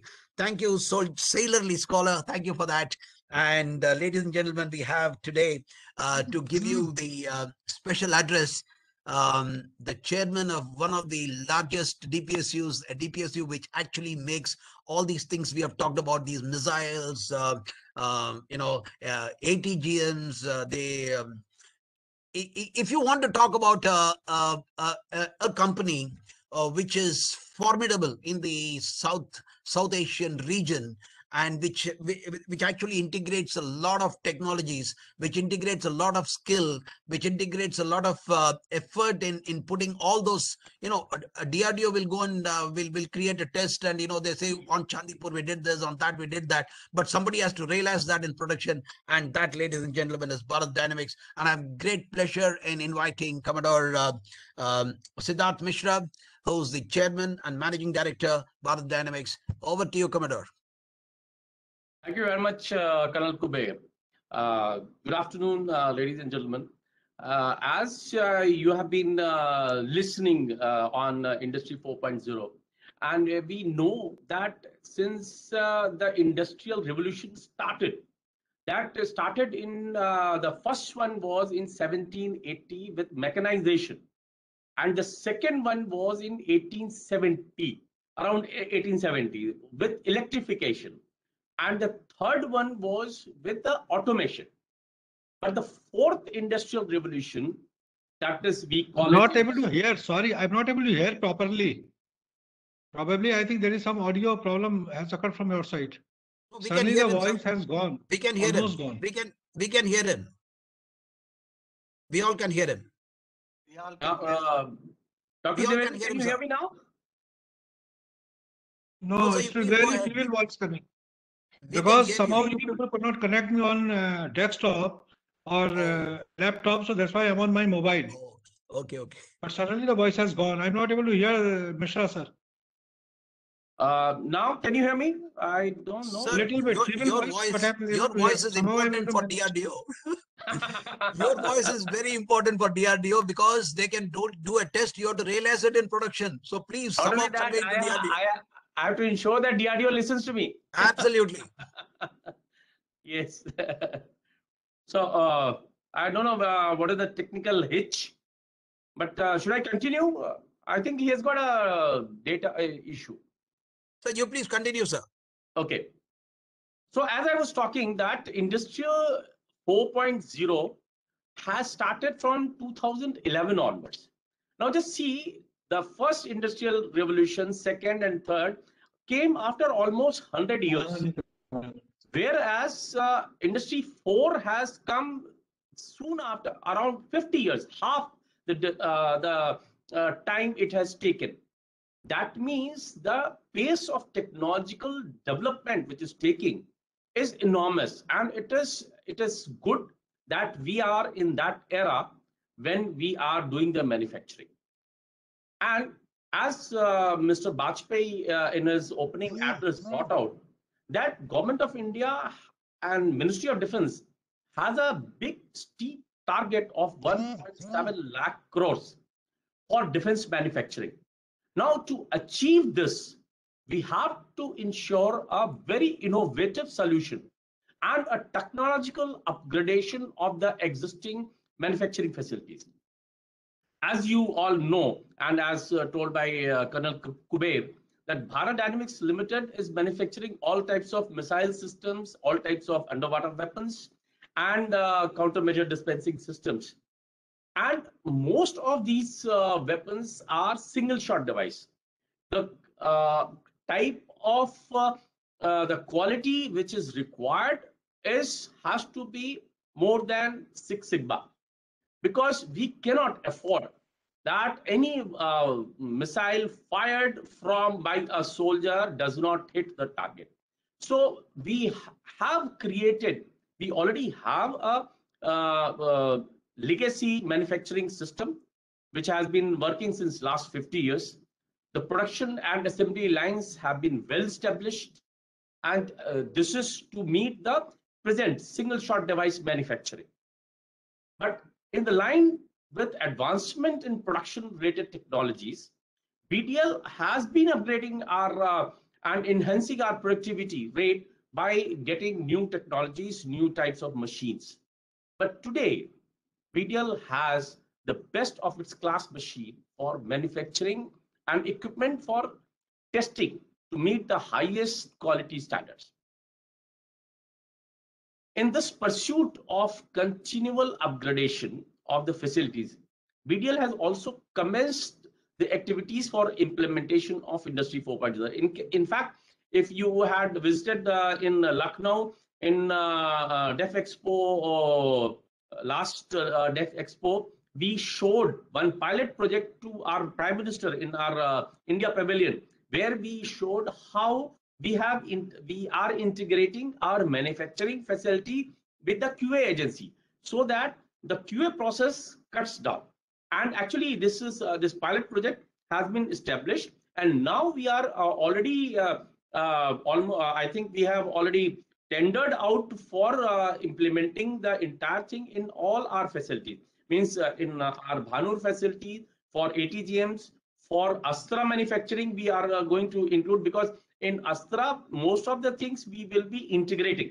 Uh, a major part will be uh, as, manufactured by MSMEs and we'll be getting those items and we will be uh, integrating in our uh, facility. So for integration part, we are going to include Industry 4.0. As you are uh, aware that uh, smart manufacturing is synonymously used with 4.0. It's, it's a broad concept, not something that can be implemented in the production process directly. It is a combination of various technologies and solutions which are collectively implemented in a manufacturing ecosystem. These enabling technologies and solutions will help the in optimizing the entire manufacturing process and increase the overall prof profitability. See, uh, till now, what used to happen that PSUs were not uh, very uh, interested in profit making. They were only working for the national cause. Whereas now things have changed we, we are under tremendous pressure for profitability, for improving quality, for uh, we have become competitive. There are private industries who have been allowed to enter into the missile ma uh, manufacturing. So our cost has to come down. And, and actually, to adapt to this type of uh, culture, Industry 4.0 will be very beneficial for a industry like Dynamics Limited. And actually the uh, if you see the which are the technology enablers for this smart manufacturing as you know that IoT, big data analytic, adaptive manufacturing, or that is additive uh, manufacturing, that is 3D printing, then augmented reality is one of the very important part for designing part, uh, designing of the components. To overall, out of this is the biggest challenge which is there is the cyber security and machine learning is there and blockchain is there. So what I uh, personally feel that the gap which is identified in adoption of smart manufacturing or implementation of industry 4.0 in India's defense manufacturing ecosystem first is the high cost or physical or digital technical infrastructure. See, uh, everyone does not think, as has been told by previous speakers, that the capex versus the uh, uh, cost of a component. Um, everyone doesn't see that. We do not have that sort of uh, uh, funding or that sort of money available for implementation of this industry 4.0 because the cost is not very less. It is pretty high. Then the cyber security uh, is uh, another thing. For example uh, for uh, for equipment that we manufacture uh, we the nature of the product is such that we uh, have to have a air gap between the intranet and internet so for implementation of this uh, industry 4.0 becomes a big challenge because if I have to connect the entire ecosystem, for example, if I have to connect the uh, MSMEs, if I have to come uh, connect the other industries uh, online, it will be very difficult for us to do that. But we are working uh, uh, with the industries who are into this, like Siemens, then and there are other companies who are working in industry 4.0 and they have given us a solution. So uh, that that will be a big gap. Then also a leadership skill gap. Uh, it's it's very essential. Uh, like senior people uh, uh, at our level, uh, we were not very adaptive to get into this industry 4.0. But frankly speaking, I personally attended few seminars and I went and saw few places where this industry 4.0 has been implemented. And i was very impressed. And I, and i ensured that we start getting uh, implementation of industry 4.0 in our facility. Then also the training uh, especially the vocational training is a big gap for implementation of industry 4.0 then uh, standards and interoperability in the interconnected ecosystem. As i had already brought out that it is very difficult for uh, security systems to become uh, uh, interconnected between various industries.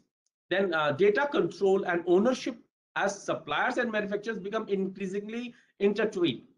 And uh, lack of uh, research and specialist staff, this is another gap. Then suppliers of mechatronic systems and machineries uh, right now we have uh, limited uh, suppliers for this and also a weak network infrastructure. Uh, though uh, it is, uh, as you have seen that we have a good network, but still we require, if we have to work seamlessly, then we should have a 5G so that the, the type of uh, uh, uh, speed which we require to adapt to the uh, industry 4.0 is available. And what i personally feel what are the challenges uh, for industry 4.0 is the first thing is the skill challenge. Presuming that complete automation is not the realistic view looking at the companies like us which uh, are already have a well-defined legacy manufacturing lines. But we can say that one of the benefits of Industry 4.0 uh, in our type of manufacturing is that it will be increasing productivity through a mix of physical as well as digital assistance. But I'm very confident that our manpower with sufficient training will be able to adopt to the skills required for implementation of uh, Industry 4.0. I, I must tell you that the type of skill which a PSU worker has, nobody can have that sort of uh, uh, skill level. And because why I'm telling that we have been manufacturing since last 50 years the type of uh, complex, uh, you can say it's a rocket science. And uh, our uh, guys are working into that. So our skill level is very high, but presently they are not trained enough to take on the industry 4.0 type of uh, uh, manufacturing. But I'm sure with the type of uh, training is which is required, we will be able to do that. And second one is the uh, biggest thing is manufacturing challenges. The, uh, the uh, uh, manufacturing challenges, you can say that some key challenges in the manufacturing is after realization of Industry 4.0, the, uh, the lack of a clear digital vision is one of the most important thing. Then fostering of a strong digital culture. See, till now, we most of the things we have been handling with uh, pen and paper. Whenever uh, our uh, DGQA staff comes, we have got a big uh, uh, uh, form which is filled manually. He keeps it, strongs it. When it goes for uh, eye noting, a big bundle of papers go. They check, and then finally eye note is given.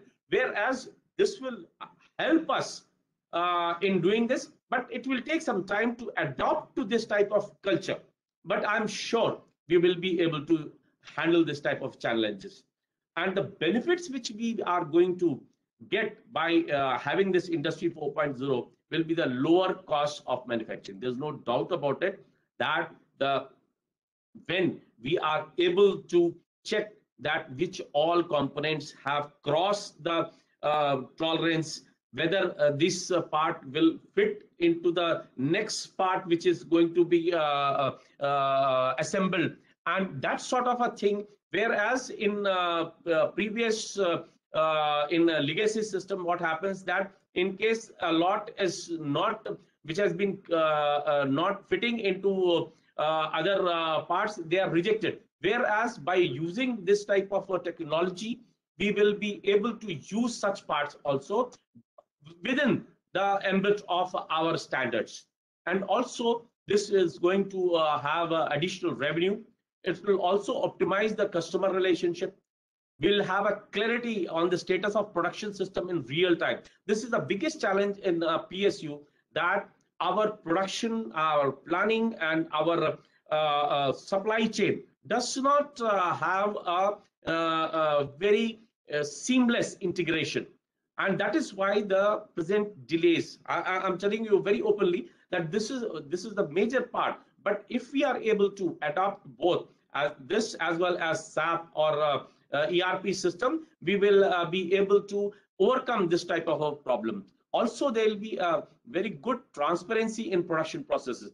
Uh, as uh, many of uh, our uh, previous speakers who are uh, working in the in the production uh, our uh, private sector industries msmes they will understand that, that uh, in the production process how uh, it is important that the entire thing is very transparent. And also this will help in uh, reduce inventories. By reducing inventory certainly we will be uh, having good we'll be having a better revenues and improvements in the health and safety of the workers. This is also a very important thing that in case our we are able to predict the health of the machine on which our workers are working.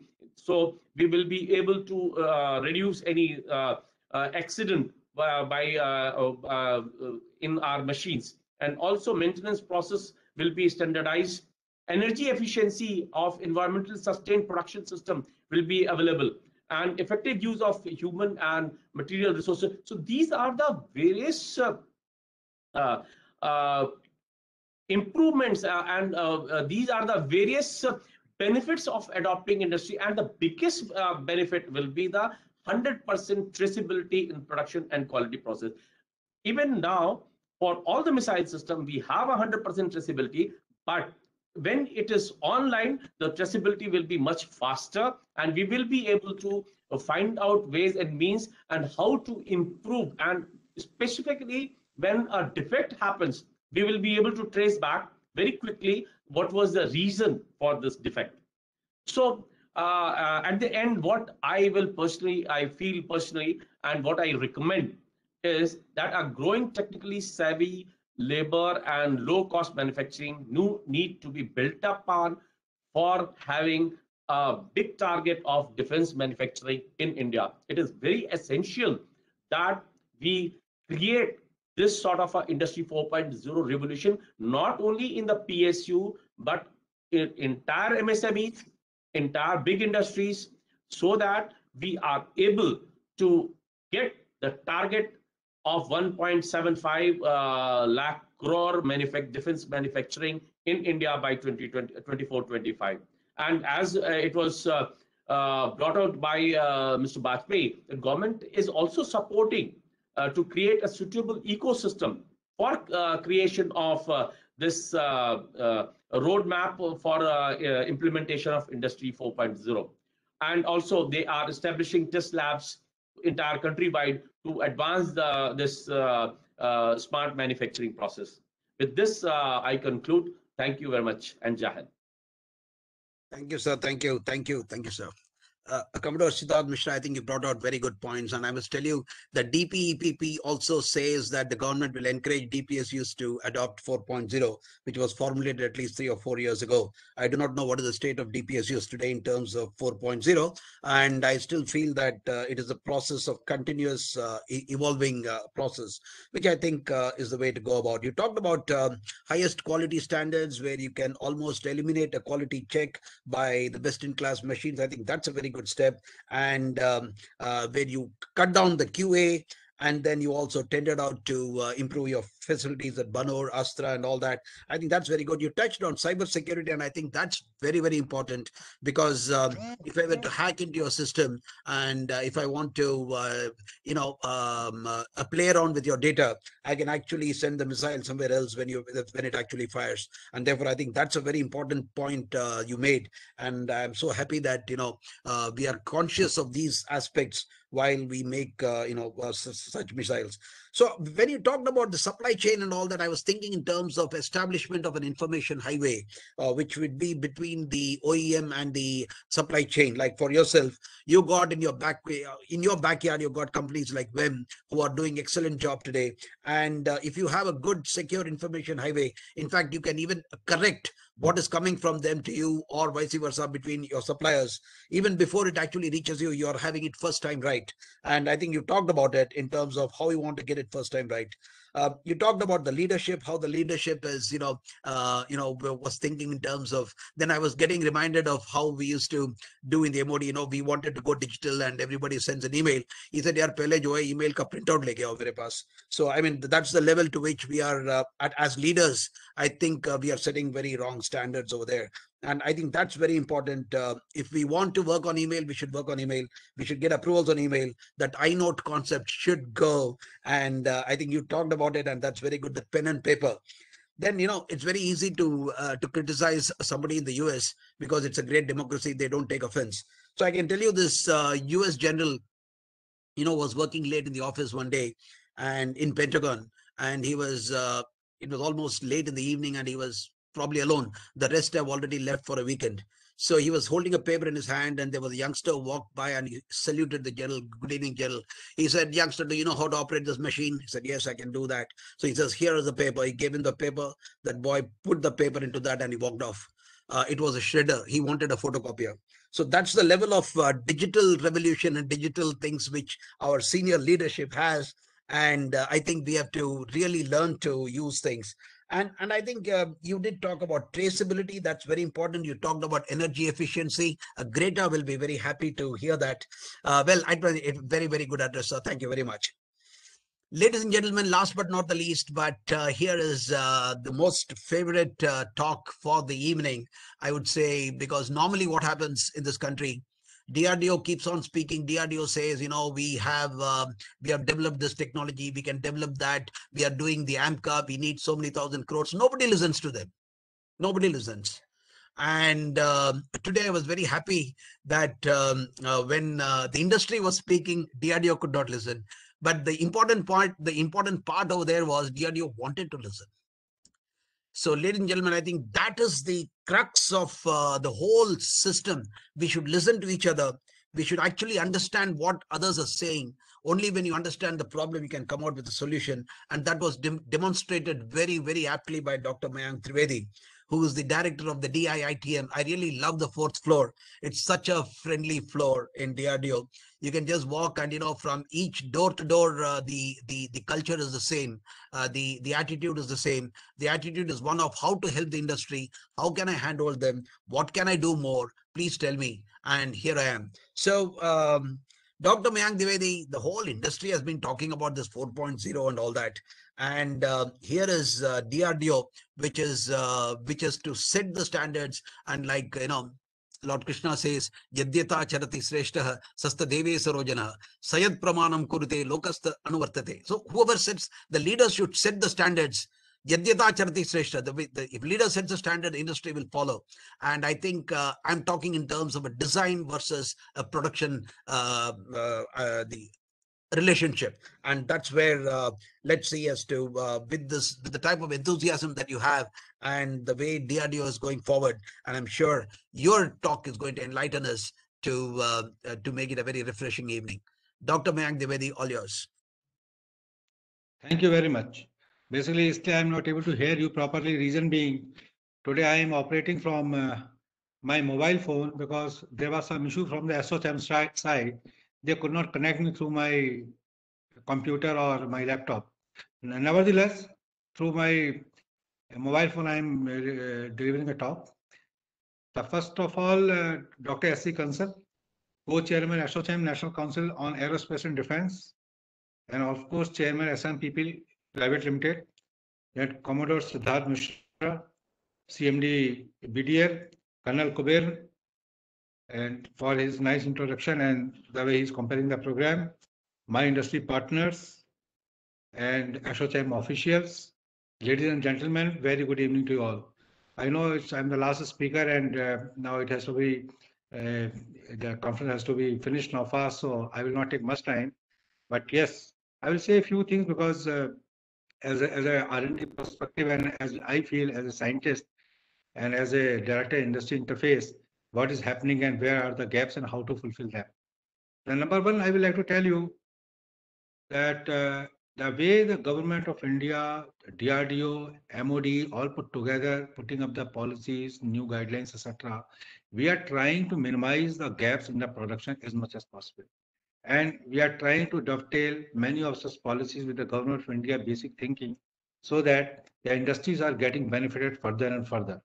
And you have seen of late that so many things have come up where the start from IDEX, TDF, and make one category, make two, etc. So many things have come up. Need not say make in India, etc. All are old stuff. And we are finding that industry's participation has improved. Today, I can tell you that what it used to be 10 years back, the industry's position, then they were completely at the receiving end. Today, the industries have come up so well that in many areas, the DRDO industries, we are finding that industry is completely complementing DRDO. And that's how the 108 item list by DRDO has been released because the industries are capable of designing, de- uh, developing and manufacturing those products where the R&D efforts and design knowledge of DRDO sometimes not required for those 108 products. So this is the level the industries have come up. But nevertheless, there are certain gaps because this conference is primarily for the gaps. Then how to talk about how to go about it. Number one, I will tell you, as many speakers were speaking, and I have heard them, that advanced manufacturing technologies still we lack them. Let it be any manufacturing when it comes to advanced thing like underwater laser welding you talk about, or you talk about the fabs or that uh, uh, that uh, all the manufacturing facilities, etc. We do very good various design etc. in India. Many foreign companies are operating, our engineers are working. And finally, for the fabrication of fabs, etc., we go out. So I think we have to focus on those areas, even when we talk about the additive technologies and molecular modeling, building, all such things. Again, we have to work on this. And for that, let me tell you, most of the time we find that even the we should be open to the collaborations because collaborations are the ways where we can leapfrog the technologies and we should not be adverse to them. Rather, wherever possible, we should try to go for more and more collaborations. Second thing where we find that in our defense production, we are finding problem and that I am very much privy to because this is an area which is my expertise too. We are lacking in advanced materials. Basically, we have got the ideas, we have got the design capabilities, everything is there. But how to convert our ideas into a product, a viable product? We require material. Materials are the medium to convert our ideas into a product. So advanced materials, again, this is an area where we have to focus on, talk about the uh, technical textiles, your bulletproof jacket material, like uh, making the ultra high molecular polymer, uh, high high molecular weight polyethylene, Kevlar, etc. Anything we talk about, everywhere you will find when it's come to advanced materials, we are lacking. Even there are certain very high quality, high purity, rare earth materials where we have to work on it so that those materials are also made available for our various strategic programs. Then I will tell you that about the test facilities. Today we have got DRDO test facilities, many other institutions like BARC, uh, ISRO, etc. Their test facilities, CSIR test facilities, their NABL accredited labs. But apart from that, the type of volume we are handling in India, I think to facilitate industries further, these, the, this is one of the gaps where we have to ensure that our test facilities have to be further multiplied. And I think towards that, Department of uh, Defense Production is working on it, and that's how they want to further multiply such test facilities. Yes, of course, the cost is involved, but that we have to see. That is for the larger good of the good of the industries. So we have to look into this area too. Then, when our industries are working uh, as LSI or the big industries working for the major systems and programs, somehow I find some type of inkling is given to me that they are not very comfortable with the industrial ecosystem. Suppose one LSI is working for a big program, and there so happens that there are other SMEs who are, says 200 number of SMEs or 500 number of SMEs are working for that program to assist them. Those SMEs also DRDO developed a lot of efforts because only those SMEs also put their skin in the game. Their investment is there in terms of manpower, sometimes money also, though we are funding them for the development part. But even though their passion is there, they've invested their time, etc. Keeping that in mind, those SMEs, they are very important uh, supply chain partners in our ecosystem. But sometimes it happens that the LSI feels that whatever the important technologies are there where they want to control so that they can maximize the profit. I think there should be a situation, at least in India, and I am very sure it is there already in the entire world, Europe and America, I can firmly say about it. But in India also, we have to understand that there should be a situation, live and let live. That's how you multiply your hands. Second thing, that we are able to meet schedules. If every egg is all the eggs is put in one basket, then there will be a problem. I think our industry must should be open, much more open for this ecosystem type of situation. Then another thing is there, which I think Colonel Kuber will 100% agree with me, that our industry's user interface, I find there are certain issues. Of late, it has improved. I will not say there's a problem, but I think the user interface has to improve further.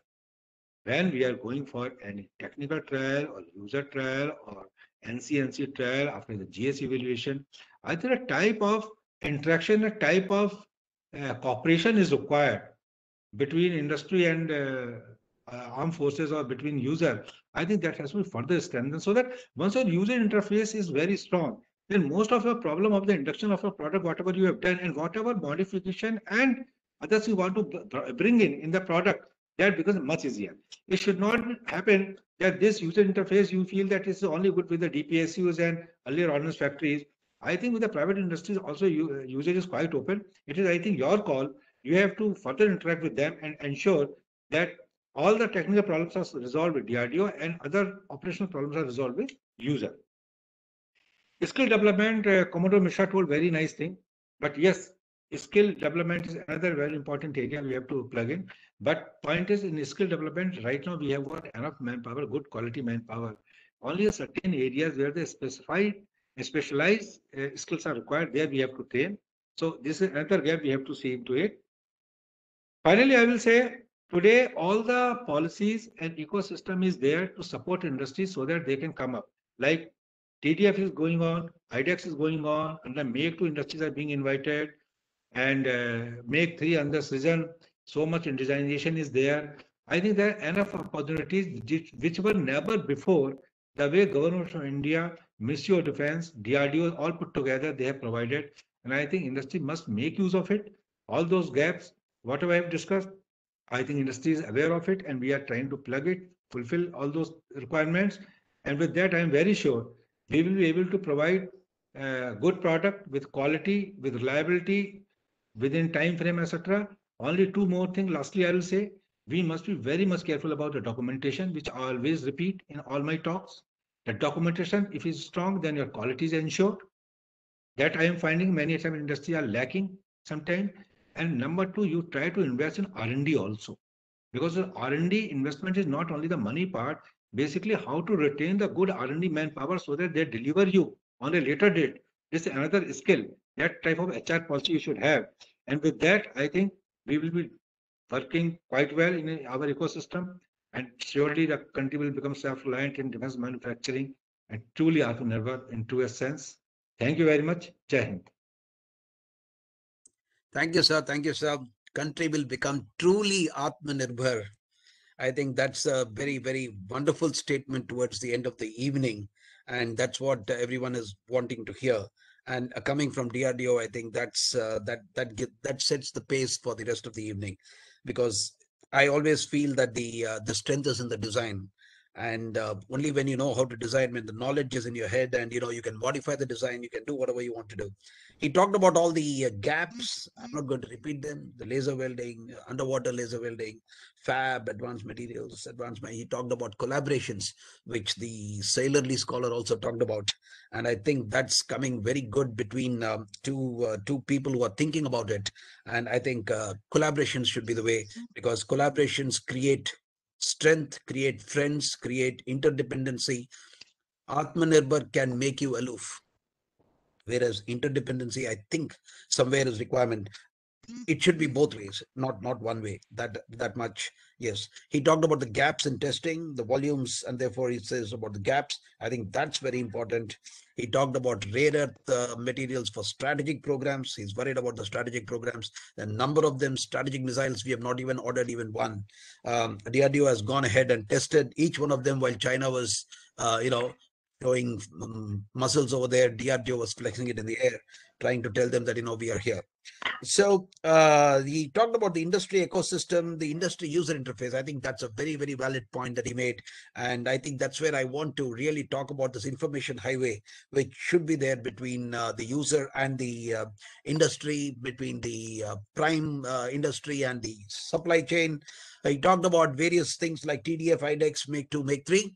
But I think um, he didn't miss out deliberately, I'm sure. But uh, I think uh, one of the most important things that the industry looks forward is the DCPP because that uh, that shows a lot of promise in terms of uh, uh, g- getting into larger systems, and that's where DRDO plays a very very important role.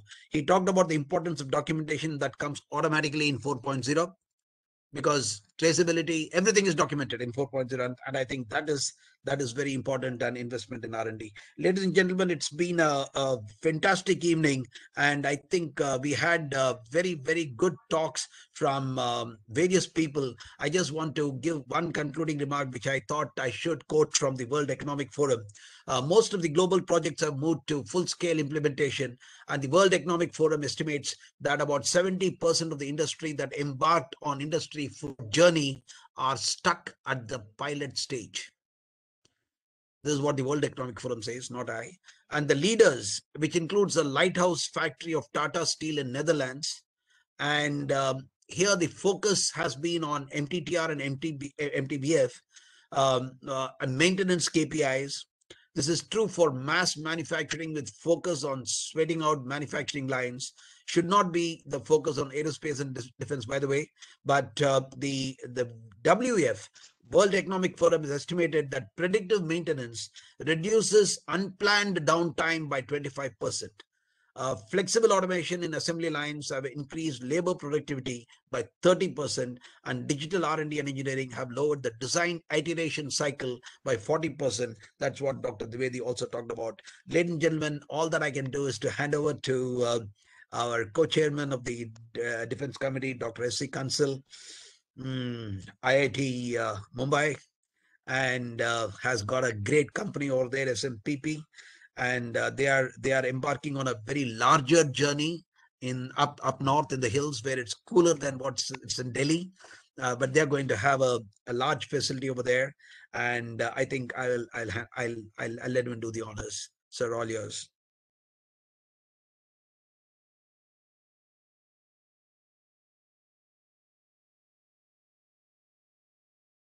Before I start, let me address Mr. Anurag Bajpai, who has already left. He had a very, very busy schedule. He addressed us very nicely, and I conveyed my thanks to already. I will not repeat it. I furthermore again thank him again. I thank Mr. Mayank Dwivedi. Kanukumar, I fully agree with you. The atmosphere and the climate of fourth floor of DRDO. I'll further go ahead with the hospitality of Dr. Mayank A Couple of weeks back, me and my team had visited his office. What a hospitality he showed. What a openness in the discussion he showed it, you know. We have gone for some technology and some issues and he solved it. He solved it completely and gave a open offer for giving the offer. And also, what a beautiful samosas and hot samosa in this winter we he served us. So nice of you. Thank you so much, sir. Thank you. Thank you for the today's evening. Sorry we delayed you from a busy schedule and you have to wait till the evening and because of the interruption in the you know in between. Sorry again for that. Thank you so much, sir. I thank Commander Siddharth Mishra for your wonderful speech, sir, wonderful guidance to the industry, how to increase the profitability, how to increase the inspect, decrease the inspection schedule and getting the I note issued. Thank you so much, sir. I thank Mr. Vikas Balani from CDB, Ashmita Sethi ji, who has already said the suppliers of the, you know, engine, uh, Air Force engine and military engine 30, 34% of worldwide they are giving. Mr. I'm all with you with regard to MSMEs. What problem they are facing, I can understand. You told the problem being faced the running unit of MSMEs. There are furthermore problem for any new entrant to come to MSME. MSME guy cannot enter. It is very, very difficult for a guy to come. You have to first install the, you have to get a CV done, the capacity verification done. Then only you can be registered the. So there are, I fully with all, I will not repeat the problem which said, I only say, yes, there's the problem. Hundred percent payment you have to for the raw material and for getting payment forty-five days, you have to wait, minimum forty-five days here and the raw material supply. Thank you so much. Thank you. I thank Mr. Partha Chaudhary. I thank Mr. Ashok Vadavan from Adani's. Sir, thank you so much. What a wonderful system you have put it. Millions you produce in a month or a day. Sorry, I'm it. Anything which was produced 30 minutes, you are producing in 8 seconds. Fantastic. And the quality, we can imagine what a quality, wonderful quality your company must be making to this. It's a new entrance. Adani is a new entrance to defense. We welcome you, sir. I thank Captain Vikram Mahajan, who is preferring JVs and co-production and co-development. I thank it Commodore Siddharth Mishra ji. Again, I, I thank you, sir. Thank you for the good lessons you have given to the industry. I thank once more again DS Rajara ji and thank the whole team of ASSOCHAM for arranging the program. I thank once again. Thank you so much, Jai Hind, and good night. Thank you. And thank you, Colonel Kuber, for this wonderful moderation. Yeah, the wonderful global who's famous. Sorry, this is globally famous Colonel Kuber. Oh, thank the you, thank you, global thank you, thank you. moderator. Yeah, global. Yeah, that, that is there. Sorry, I, I, Okay, I bye. forgot that. Without that, Sir, sir, without please. that, Colonel it cannot sir. finish within time. Really, Thank you. Vikram. Thank you, thank you. Okay, bye. Thank you, Councillor. Thank you. Thank you, Thank you. Partha. Bye. See you. Bye. Thank you. Thank you all. Thank you, everyone.